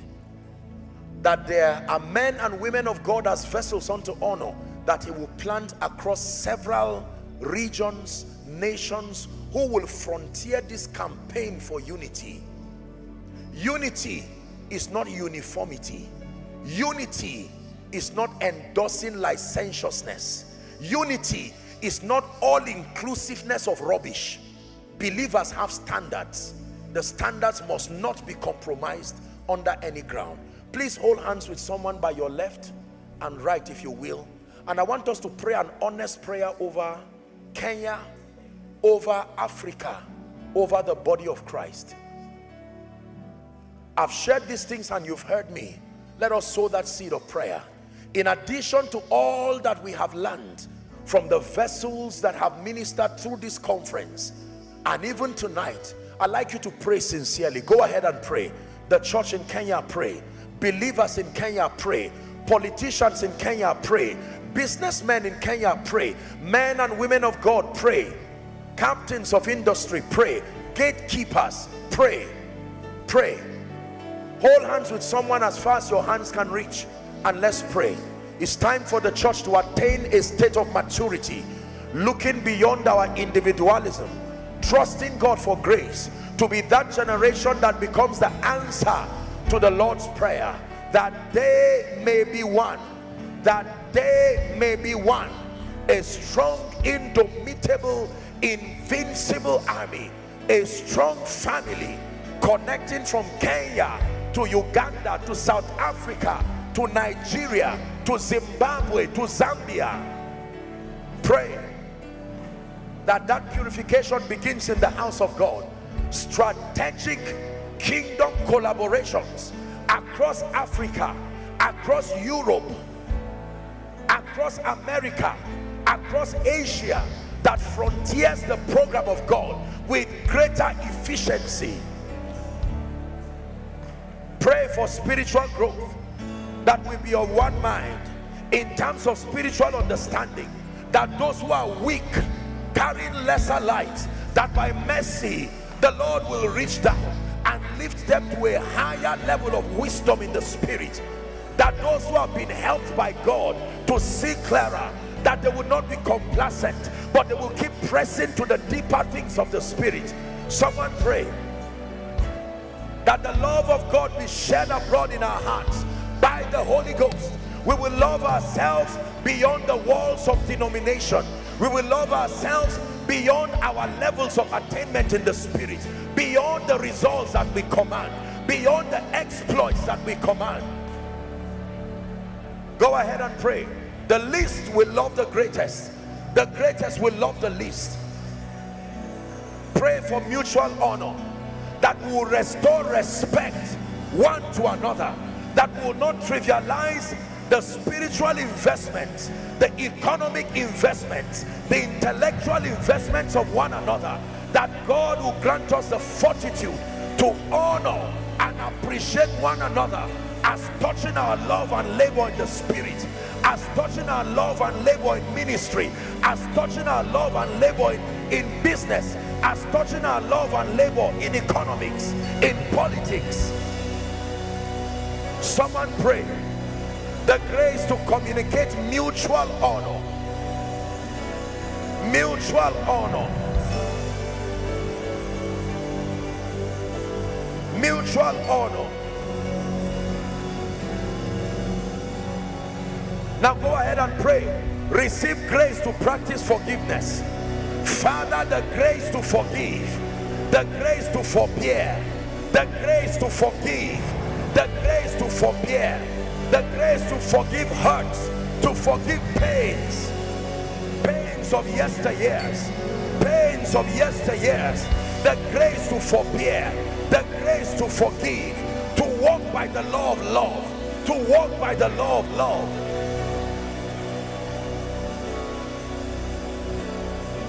Hallelujah. The final point is prayer.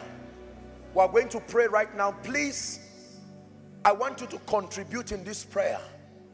Your spiritual efficiency. We are praying as one united family. We'll start with Kenya. The church over Kenya. The political space over Kenya. The economic space over Kenya. We are going to pray. Lord, step in. We call you a deliverer. We call you a mighty God. Step in you are the Lord of Sabaoth. Stepping over Kenya. Spread that prayer to Uganda and all across East Africa. Take it to West Africa. Go ahead. Take it to South Africa. Begin to pray. Lord, step in over your church for your name's sake. In the name of Jesus. Raise men and women. Men of wisdom. Men of fire. Men of character. Manifesting the fullness of Christ serving his grace with wisdom. Serving his grace with diligence. Go ahead and pray. Pray for the church in Kenya. Pray for the church in East Africa. Pray for the church in Africa from Nigeria to Ghana. Cameroon Zambia Zimbabwe.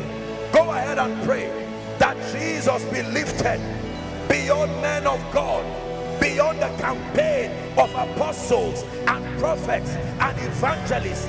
We desire to decrease in Christ that only one banner only one name be lifted and projected. Pray for Kenya. Let there be peace in Kenya. Pray for the government for wisdom. Pray for the parliamentarians. Pray for the presidency. Pray for the judges. Pray that righteousness and justice will become the code the creed over Ghana over uh, um, South Africa, over Uganda, over Cameroon.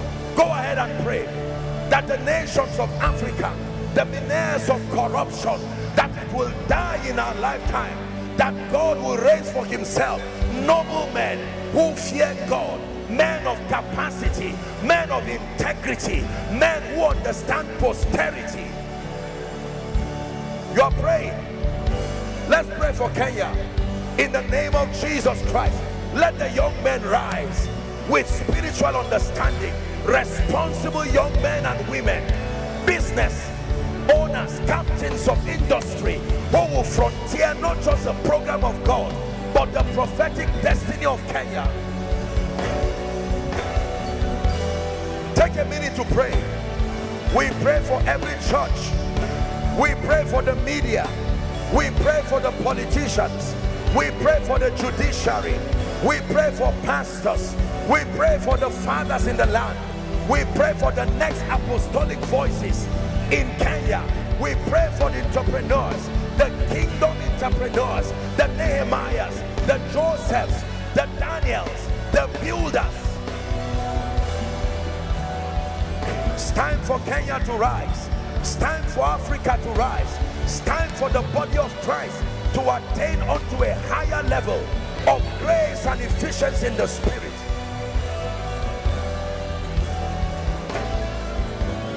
Hallelujah. Hallelujah. We're still praying. Listen, I want you to pray for every man of God who has been used here to bless you. Let it not be that after we have preached, we ourselves will be castaways. Are we together? Every man of God here has a ministry, global ministries they are running. And I tell you the truth, Satan will not fold his arms as far as thwarting the testimony of God's people over his vessels are concerned. The fall of one will be a catastrophe to the body. Go ahead and sow seeds of prayer. Pray for every man of God. Mention them by name. Mention their ministries by name. The grace that keeps, the wisdom that protects, the wisdom that advances, the power, the staying power, the grace to remain. Sound in doctrine, impeccable in wisdom, stability of character. Go ahead and pray. Let it be from the depth of your heart sow that seed of prayer over every man of God who has been used by God here. In Jesus' name we pray. Jesus' name we pray.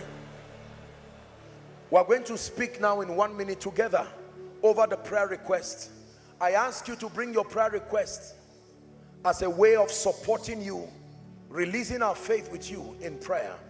The Bible says in Philippians chapter 4 and verse 6, it says, be anxious for nothing.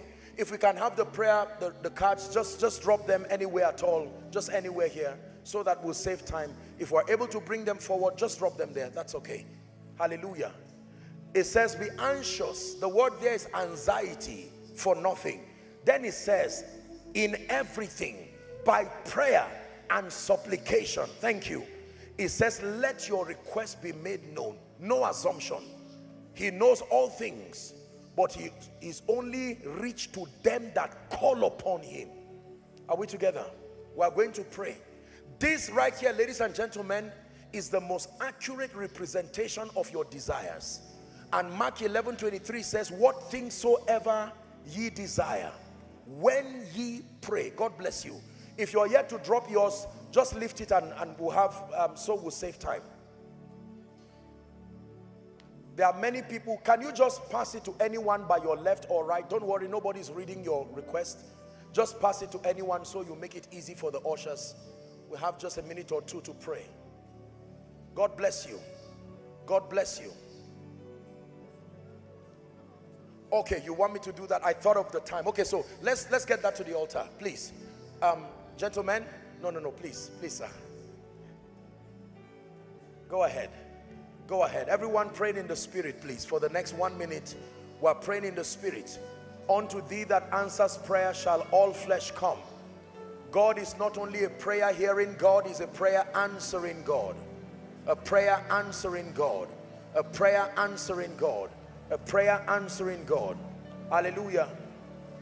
Amen. Now listen, Kenya, Please listen, let me teach you something. Let me teach you something. There are three ways that God answers prayer. It's important not just for you to know that God answers prayer. You can know how he answers prayer. Number one, by supernatural intervention. There are times that God can step in, like the miracles we witnessed. He steps in by his power and brings correction, creation, and all kinds of supernatural manifestations. Number two, God answers prayer through the ministry of men. The ministry of men. This is one major way God answers prayer. Spiritual realities are converted through the ministry of men. The word became flesh, became flesh. Results can have their material expression when they partner with the ministry of men. John chapter 5 and verse 7, the man who was at Gates Beautiful, when Jesus met him and said, do you desire to be healed?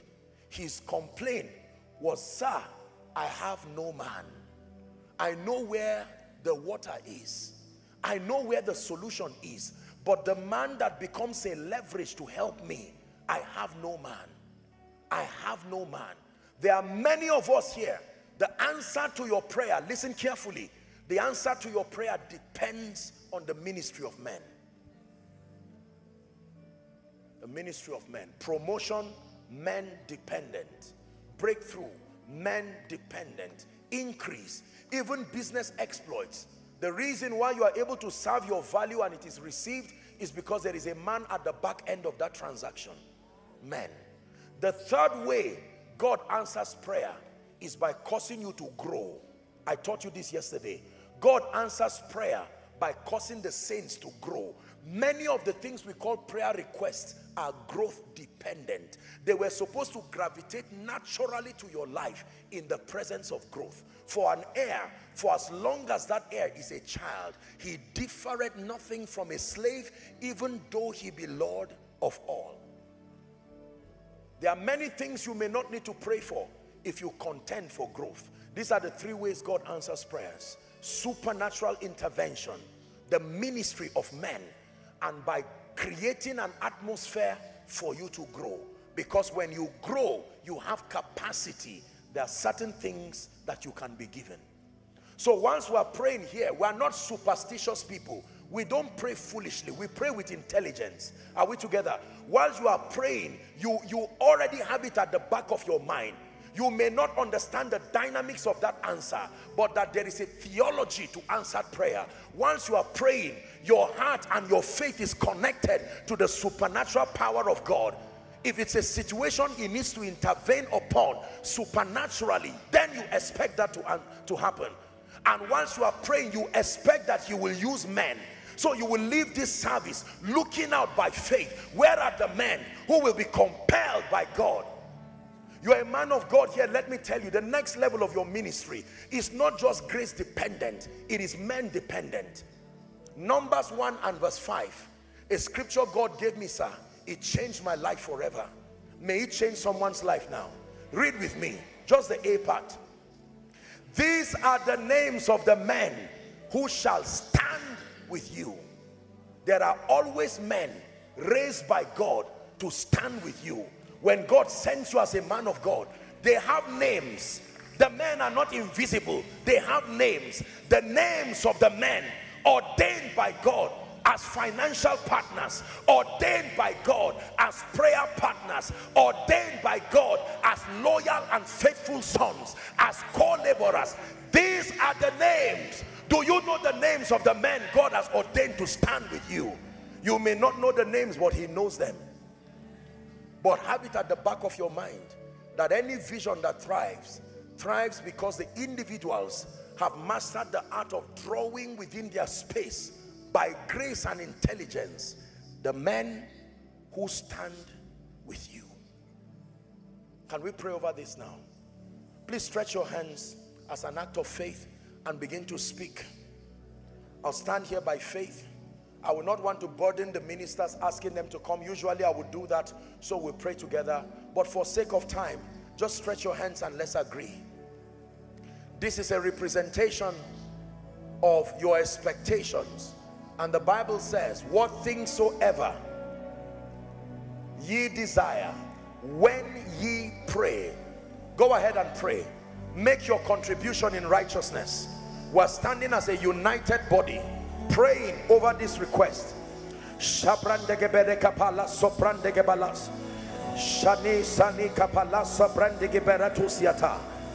We birth miracles by faith. Miracles by faith. Signs and wonders. Miracles by faith. Miracles by faith. Miracles of healing. Miracles of deliverance. Miracles of restoration. Someone go ahead and pray. We're speaking this by faith in the name of Jesus Christ. The Bible says unto you that answers prayer shall all flesh come. We come boldly before the throne of grace. We obtain answers by faith. We obtain answers by grace. We obtain answers by wisdom. In the name of Jesus, someone is praying. We declare that you step in supernaturally, visit families, visit jobs, visit businesses, visit nations, visit bodies. In the name of Jesus, come down like you did over Israel in Egypt as a result of the affliction of your people. In the name of Jesus Christ, the Bible says the Lord is nigh them that call upon him. In their affliction, they cried unto him. Visit your people, O God, in the name of Jesus. Turn their mourning to dancing, their sorrow to joy. Give them a new song in the name of Jesus. We place an anointing upon this request and we decree and declare that there are answers, answers locating men, answers locating your people, answers by the Spirit of the living God.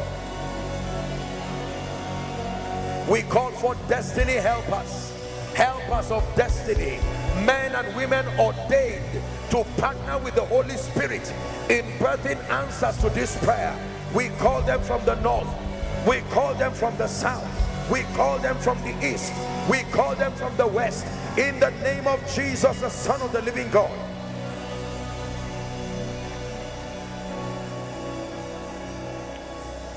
In the name of Jesus Christ. And we decree and declare every legal hold that Satan has that is making for this request to even be written by the power that raised Christ from the dead we decree and declare by the blood of the eternal covenant that legal access is broken right now. In the name of Jesus Christ. Broken right now in the name of Jesus Christ. Broken right now in the name of Jesus Christ by the power of prophecy I call for the men and women who must partner with the spirit to make for a release of answers. May they come from the north. May they come from the south. May they come from the east. May they come from the west. Some of them are businessmen. May the lord bring them. Some of them are men of god. May the lord bring them.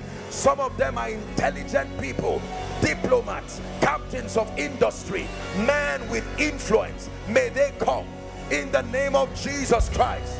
In the name of jesus christ. Some of them are divine connectors. May my god bring them. Some of them are men of influence. May my god bring them. Some of them are gifted people. May my god bring them. Some of them are burden bearers. May my god bring them speedily in the name of jesus christ.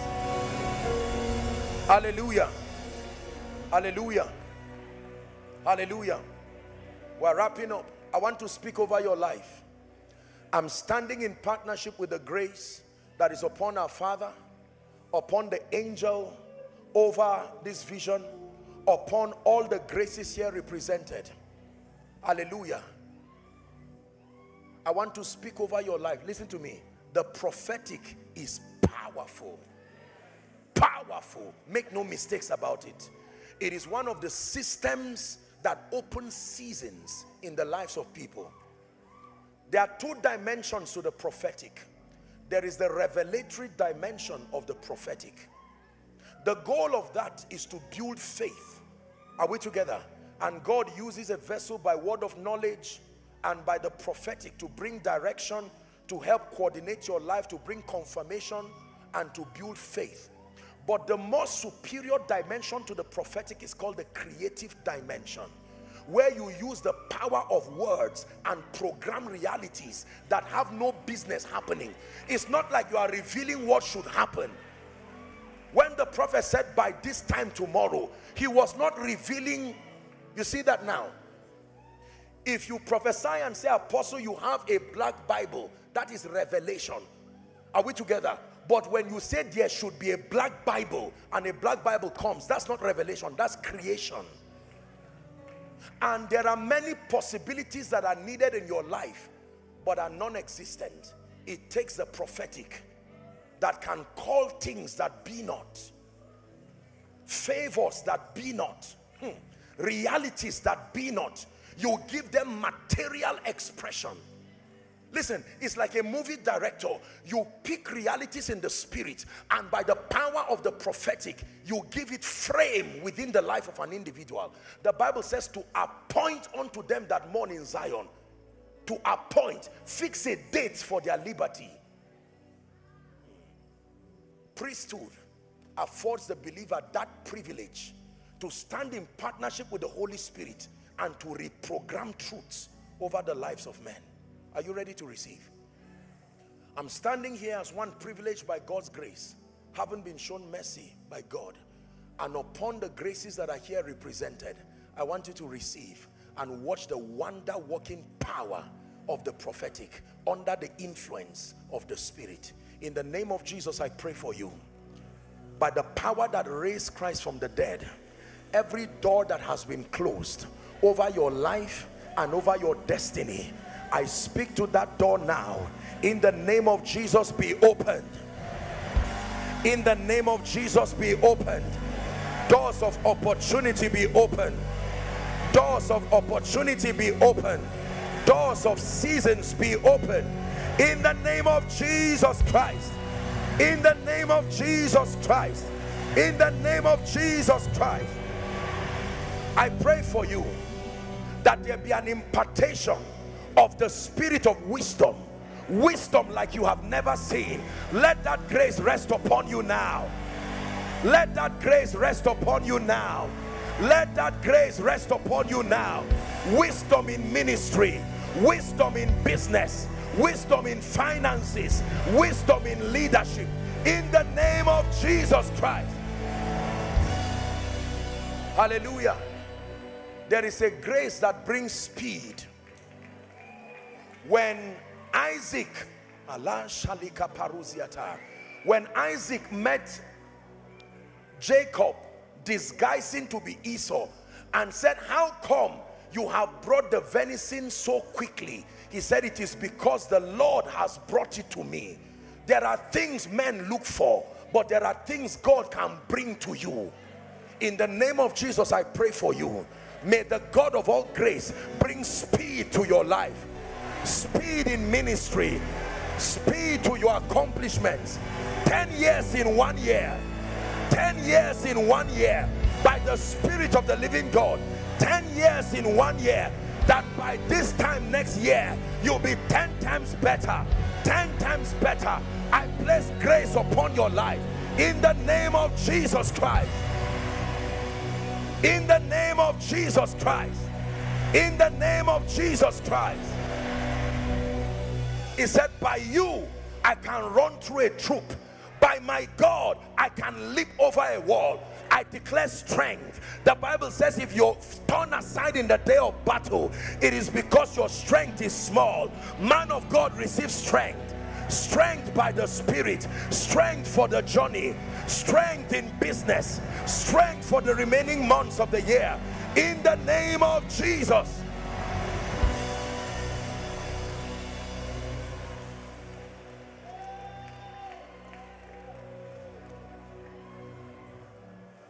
Esther chapter 2 verse 8 and 9 the Bible says while the virgins were being prepared to see the king so that he would choose a bride from them. Verse 9 it says the young woman Esther pleased the king or pleased Hegai and she obtained favor. The proof that she had favor was that he readily gave her KJV says he speedily gave her. Let me tell you the truth. Answers have timing. Not every time is convenient for every answer. There are answers that come too late. It says, satisfy me early with your mercy. I'm still praying speed over you. In the name that is above all names, as an expression of the favor of the Lord, I pray for you speedy answers speedy manifestations speedy answers speedy manifestations speedy answers speedy manifestations in the name of Jesus Christ there are four kinds of men you will always need in your life. Number one, divine connectors. They do not have what it takes to help you, but they know who has what it takes to help you. Number two, men of influence. They have built a track record and their credibility and their endorsement can become a leverage, an advantage for your acceleration. Number three, gifted men. Their assignment is to bring efficiency to your system. Number four, burden bearers. They don't move you forward, they stop you from going backward. If you lack these four kinds of men, you will fail woefully in life. Destiny actualization is highly men dependent. I pray for you in the name of Jesus, the one who has shown men mercy, that these four categories of people, beginning from tonight, may they show up in your life. May they show up in your life. Divine connectors, may they show up in your life. Men of influence, may they show up in your life. Gifted persons, may they show up in your life. Burden bearers, may they show up in your life.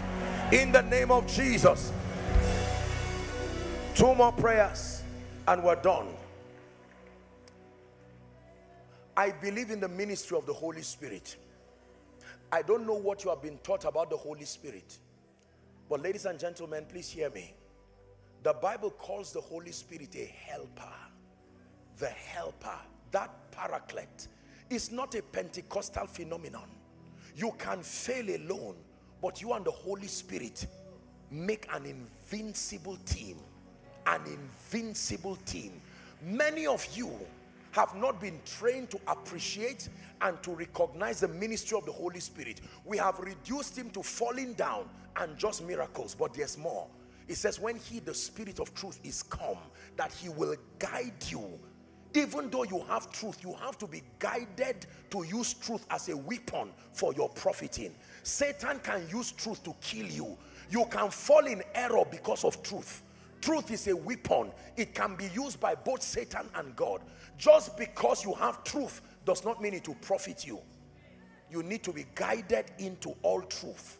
That you use truth like a weapon and produce from it a life of victory. I want to pray for you that something will happen to your relationship with the Holy Spirit. And you don't have to be a man of God. Truly, He's the advantage that was given to the believer. The one who turns ordinary men to be signs and wonders. I pray for you in the name of Jesus that you will enjoy a rich walk with the Holy Spirit from tonight. In the place of prayer, in the place of fellowship, in the place of worship, may you hear his voice with clarity. May he guide every step in your life, bringing you guidance, bringing you direction, causing you to triumph in ever increasing dimensions that through him you will manifest through your life the glory that excels ever increasing glory. In the name of Jesus Christ ever increasing wisdom. In the name of Jesus Christ ever increasing glory. In the name of Jesus Christ the final prayer. Acts chapter 2 from verse 42 to 47 it leaves for us an apostolic model for growth and transformation. I would not have done enough justice if we do not pray and I do not speak over you on this wise. It matters that believers grow. Growth in the kingdom is methodical. There is a theology to spiritual growth. You do not freelance growth. No there is an exact formula like passing a product from one end of a machine and bringing out a superior product. A believer can be passed through a system of growth and the end of that believer will be a glorious believer, a powerful believer. Are we together? The apostolic model is given in verse 42 and they continued steadfastly, Acts chapter 2, in the apostles' doctrine and in fellowship and in breaking of bread and in prayers. Acts chapter 6 and verse 4. But we will give ourselves continually to prayer and to the ministry of the word. Acts 6 4. Give ourselves continually, 6 and verse 4, to prayer and to the ministry of the word. Media, Acts chapter 6 and verse 4. Thank you. the, the ministry of the word. Hear me, Kenya. Hear me, body of Christ. I'm going to pray for you now. You have to cultivate an appetite for the word. You cannot freelance the word, giving it five minutes, carelessly listening to a message and sleep and wake up and push it away and attain unto stature in the spirit. God is not a magician. The only kind of growth that is natural is biological growth. Every kind of growth is sponsored by your diligence in the spirit. I must pray for you. There are many people's prayer altar that has gone down, including preachers. There are many people's word study life that has gone down the corporate fellowship, your appetite for spiritual things. I have to end my session by praying this prayer. Is the greatest gift any man of God can give you. The gift of prayer. That your spiritual life becomes robust through your engaging effectively, methodically, consistently in the ministry of prayer, your word study, engaging the truths of God's word Go for high level spiritual illumination. Read your Bible. Study materials that are profitable for your growth. Listen to teachings. Speak the word. Obtain grace to walk in obedience. Obedience. That's how you enter your rest. Are we together? So that we do not end this conference with tens of thousands of people and you only received without a responsibility component. The prayer I'm praying for you now is that in the name of Jesus, the hunger, because hunger is a gift and hunger is proof of health. When people fall sick, the first thing they lose is appetite. Some of you have lost your appetite. Is proof you are not healthy. I pray for you in the name of Jesus, the Son of the living God. The grace for the word, let it rest upon you the grace for the word that you will love the word above your necessary food let that grace rest upon you be students of scripture in the name of jesus christ i pray for your word study life again the appetite to study the word to know the word to engage the word. In the name of jesus receive that grace. I pray over your fire altar that the fire that has gone down let it be fanned back to flames tonight. In the name of Jesus the grace to pray and to pray through. The grace to pray and to pray through. Till you are transformed. Till you access mysteries. Till you translate realities. Till you give them frame in the place of prayer. I declare let that grace be supplied you now. In the name of Jesus. I decree and declare that you will not neglect the gathering of believers as the manner of some are I pray for you. Anyone here who is not serious with church you are not serious with the convergence of believers. Let grace come upon you to be planted in a local assembly to be planted in an apostolic platform for your maturing for your growth. In the name of Jesus Christ. And I pray for you. From all that you have learned tonight all that makes for unity as far as it depends on you let the grace be released over you now. In the mighty name of Jesus Christ. Amen and amen. Was an altar call made sir? Okay so let me make an altar call since we did not make one. Hallelujah. Yesterday we made an altar call. I'm sure that the man of God allowed since I was still coming up so we'll make an altar call. We cannot waste this opportunity. Everybody please stand. Let me please request that you respect this moment. It is a very solemn moment the greatest of all that would have happened here tonight. You are in this place and from morning up until evening speaker after speaker you have heard me speak now and the Spirit of God is speaking to you that you need Jesus. You need to make your ways right. Wherever you are from the farthest distance as far as my eyes can see for your sake will spare two or three more minutes I want to make this altar call and I want you to run I count one to five I want you to leave your seat and come stand right here in front of me and when this space is exhausted then you'll be requested to just remain where you are I'm counting one to five. You need Jesus. You need to make it right with Jesus wherever you are. I count one to five. Please make sure that um, the ministers are covered protocol thank you very much. Wherever you are Kenya let's honor them as they come. Honor them as they come. One come to Jesus. You are saying apostle I need to make it right with Jesus. Come to Jesus. Come to Jesus. Let's celebrate them as they come. God bless you. You can win that war tonight. He's giving you a new story. He's giving you a new beginning ushers can you direct them appropriately so that they come very quickly? So that they come very quickly. There are many who are coming from the farthest distances. Please bring them to the front. In the name of Jesus Christ. May the Lord bless you. Keep clapping. They are coming. It's quite a distance but God bless you two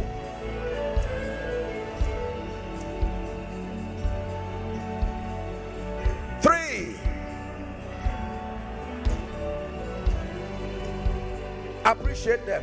I rebuke that spirit in the name of Jesus. I release you from that demonic influence. Now now. Come quickly. Three.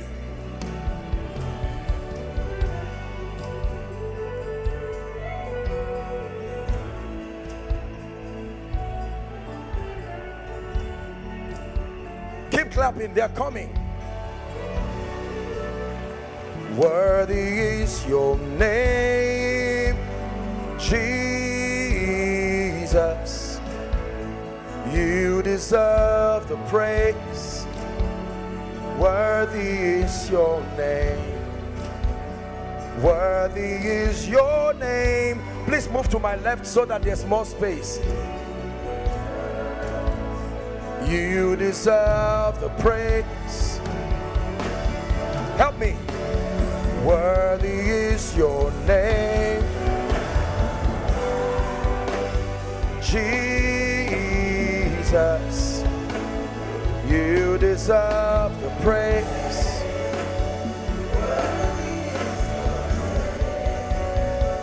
Worthy is your name, Jesus.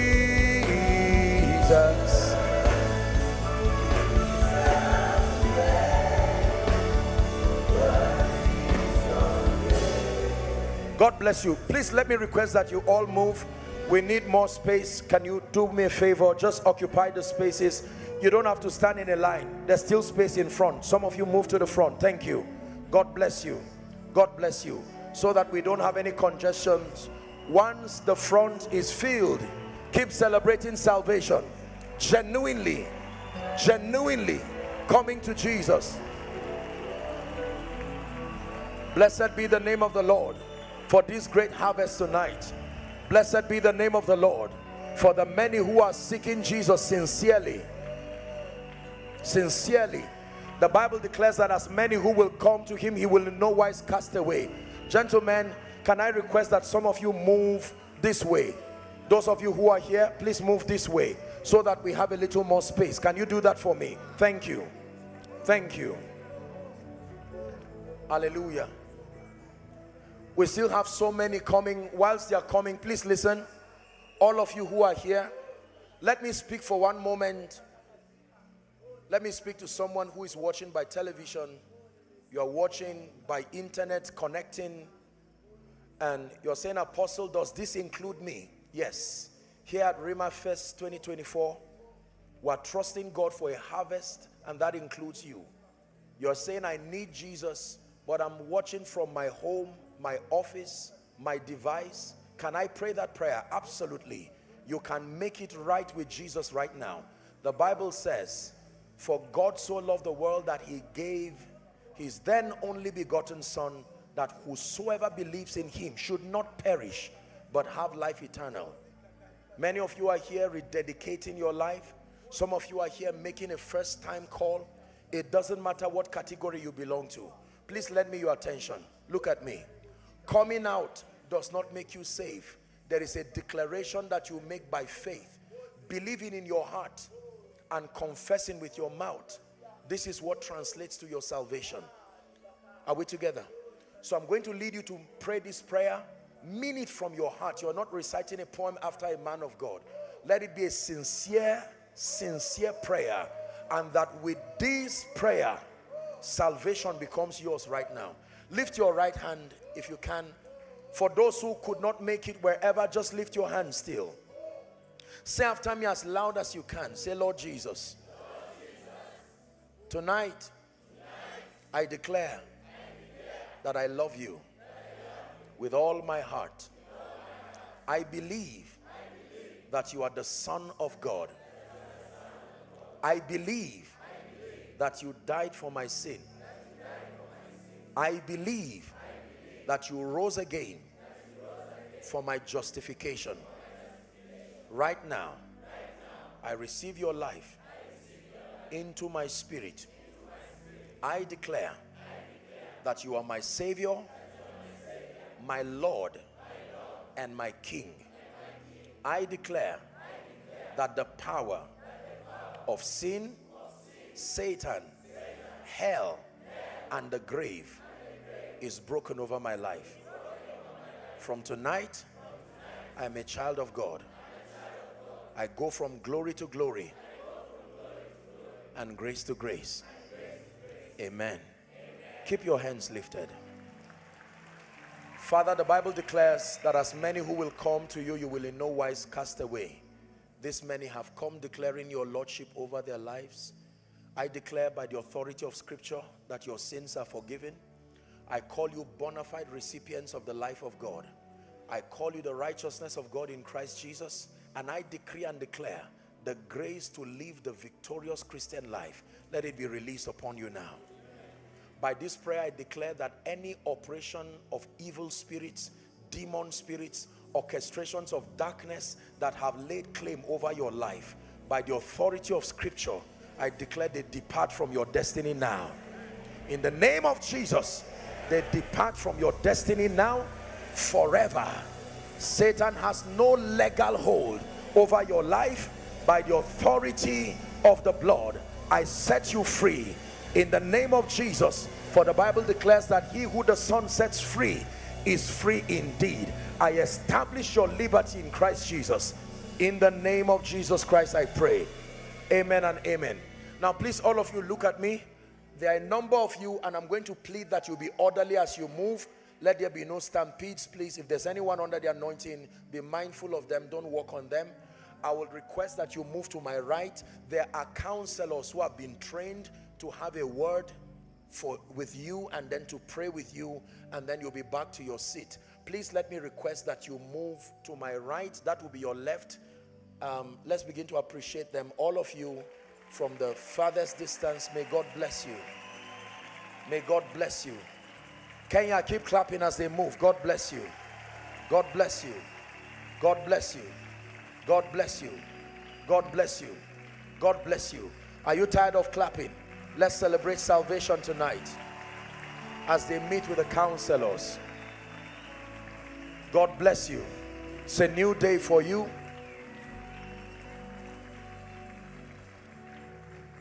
Hallelujah. Whilst we're allowing them to move, um, please us and protocol, can we make that fast? Let's make that fast so that um, in a minute or two we can get them where they'll be counseled. Praise the name of the lord. Let me use this opportunity and appreciate god's servant reverend julian. Thank you sir. I never take for granted the opportunity that you've given me to bring god's word and i equally honor your spiritual father and his dear wife i honor you sir thank you for the love the honor I want to appreciate one last time every man of God, particularly those who serve the grace of God here in Kenya. Thank you for giving this opportunity. And Kenya, I want to thank you again for receiving of this ministry. May the Lord bless you. May you go from glory to glory. In the name of Jesus, we pray. Amen and amen. Are we good to go? Hallelujah. Okay, just hold on just a moment let's let's have let's have them move and then i can come down and the next person can come up let's keep clapping while they move appreciate them appreciate them god bless you appreciate them right one last time kenya god bless you god bless you and we'll see when we see Hello, beloved in Christ. We hope this message was a blessing to you. I would want you to do something for us. If you are new here, kindly hit on that subscribe button for us and then like this video as well. Share to your family and friends to bless them because we know that this message will be a blessing to their body, to their soul, and to their spirit. We would need you to do one thing for us too tell us in the comment section where you were watching us from. And if you've got any testimony for us, kindly share with us. Thank you for watching.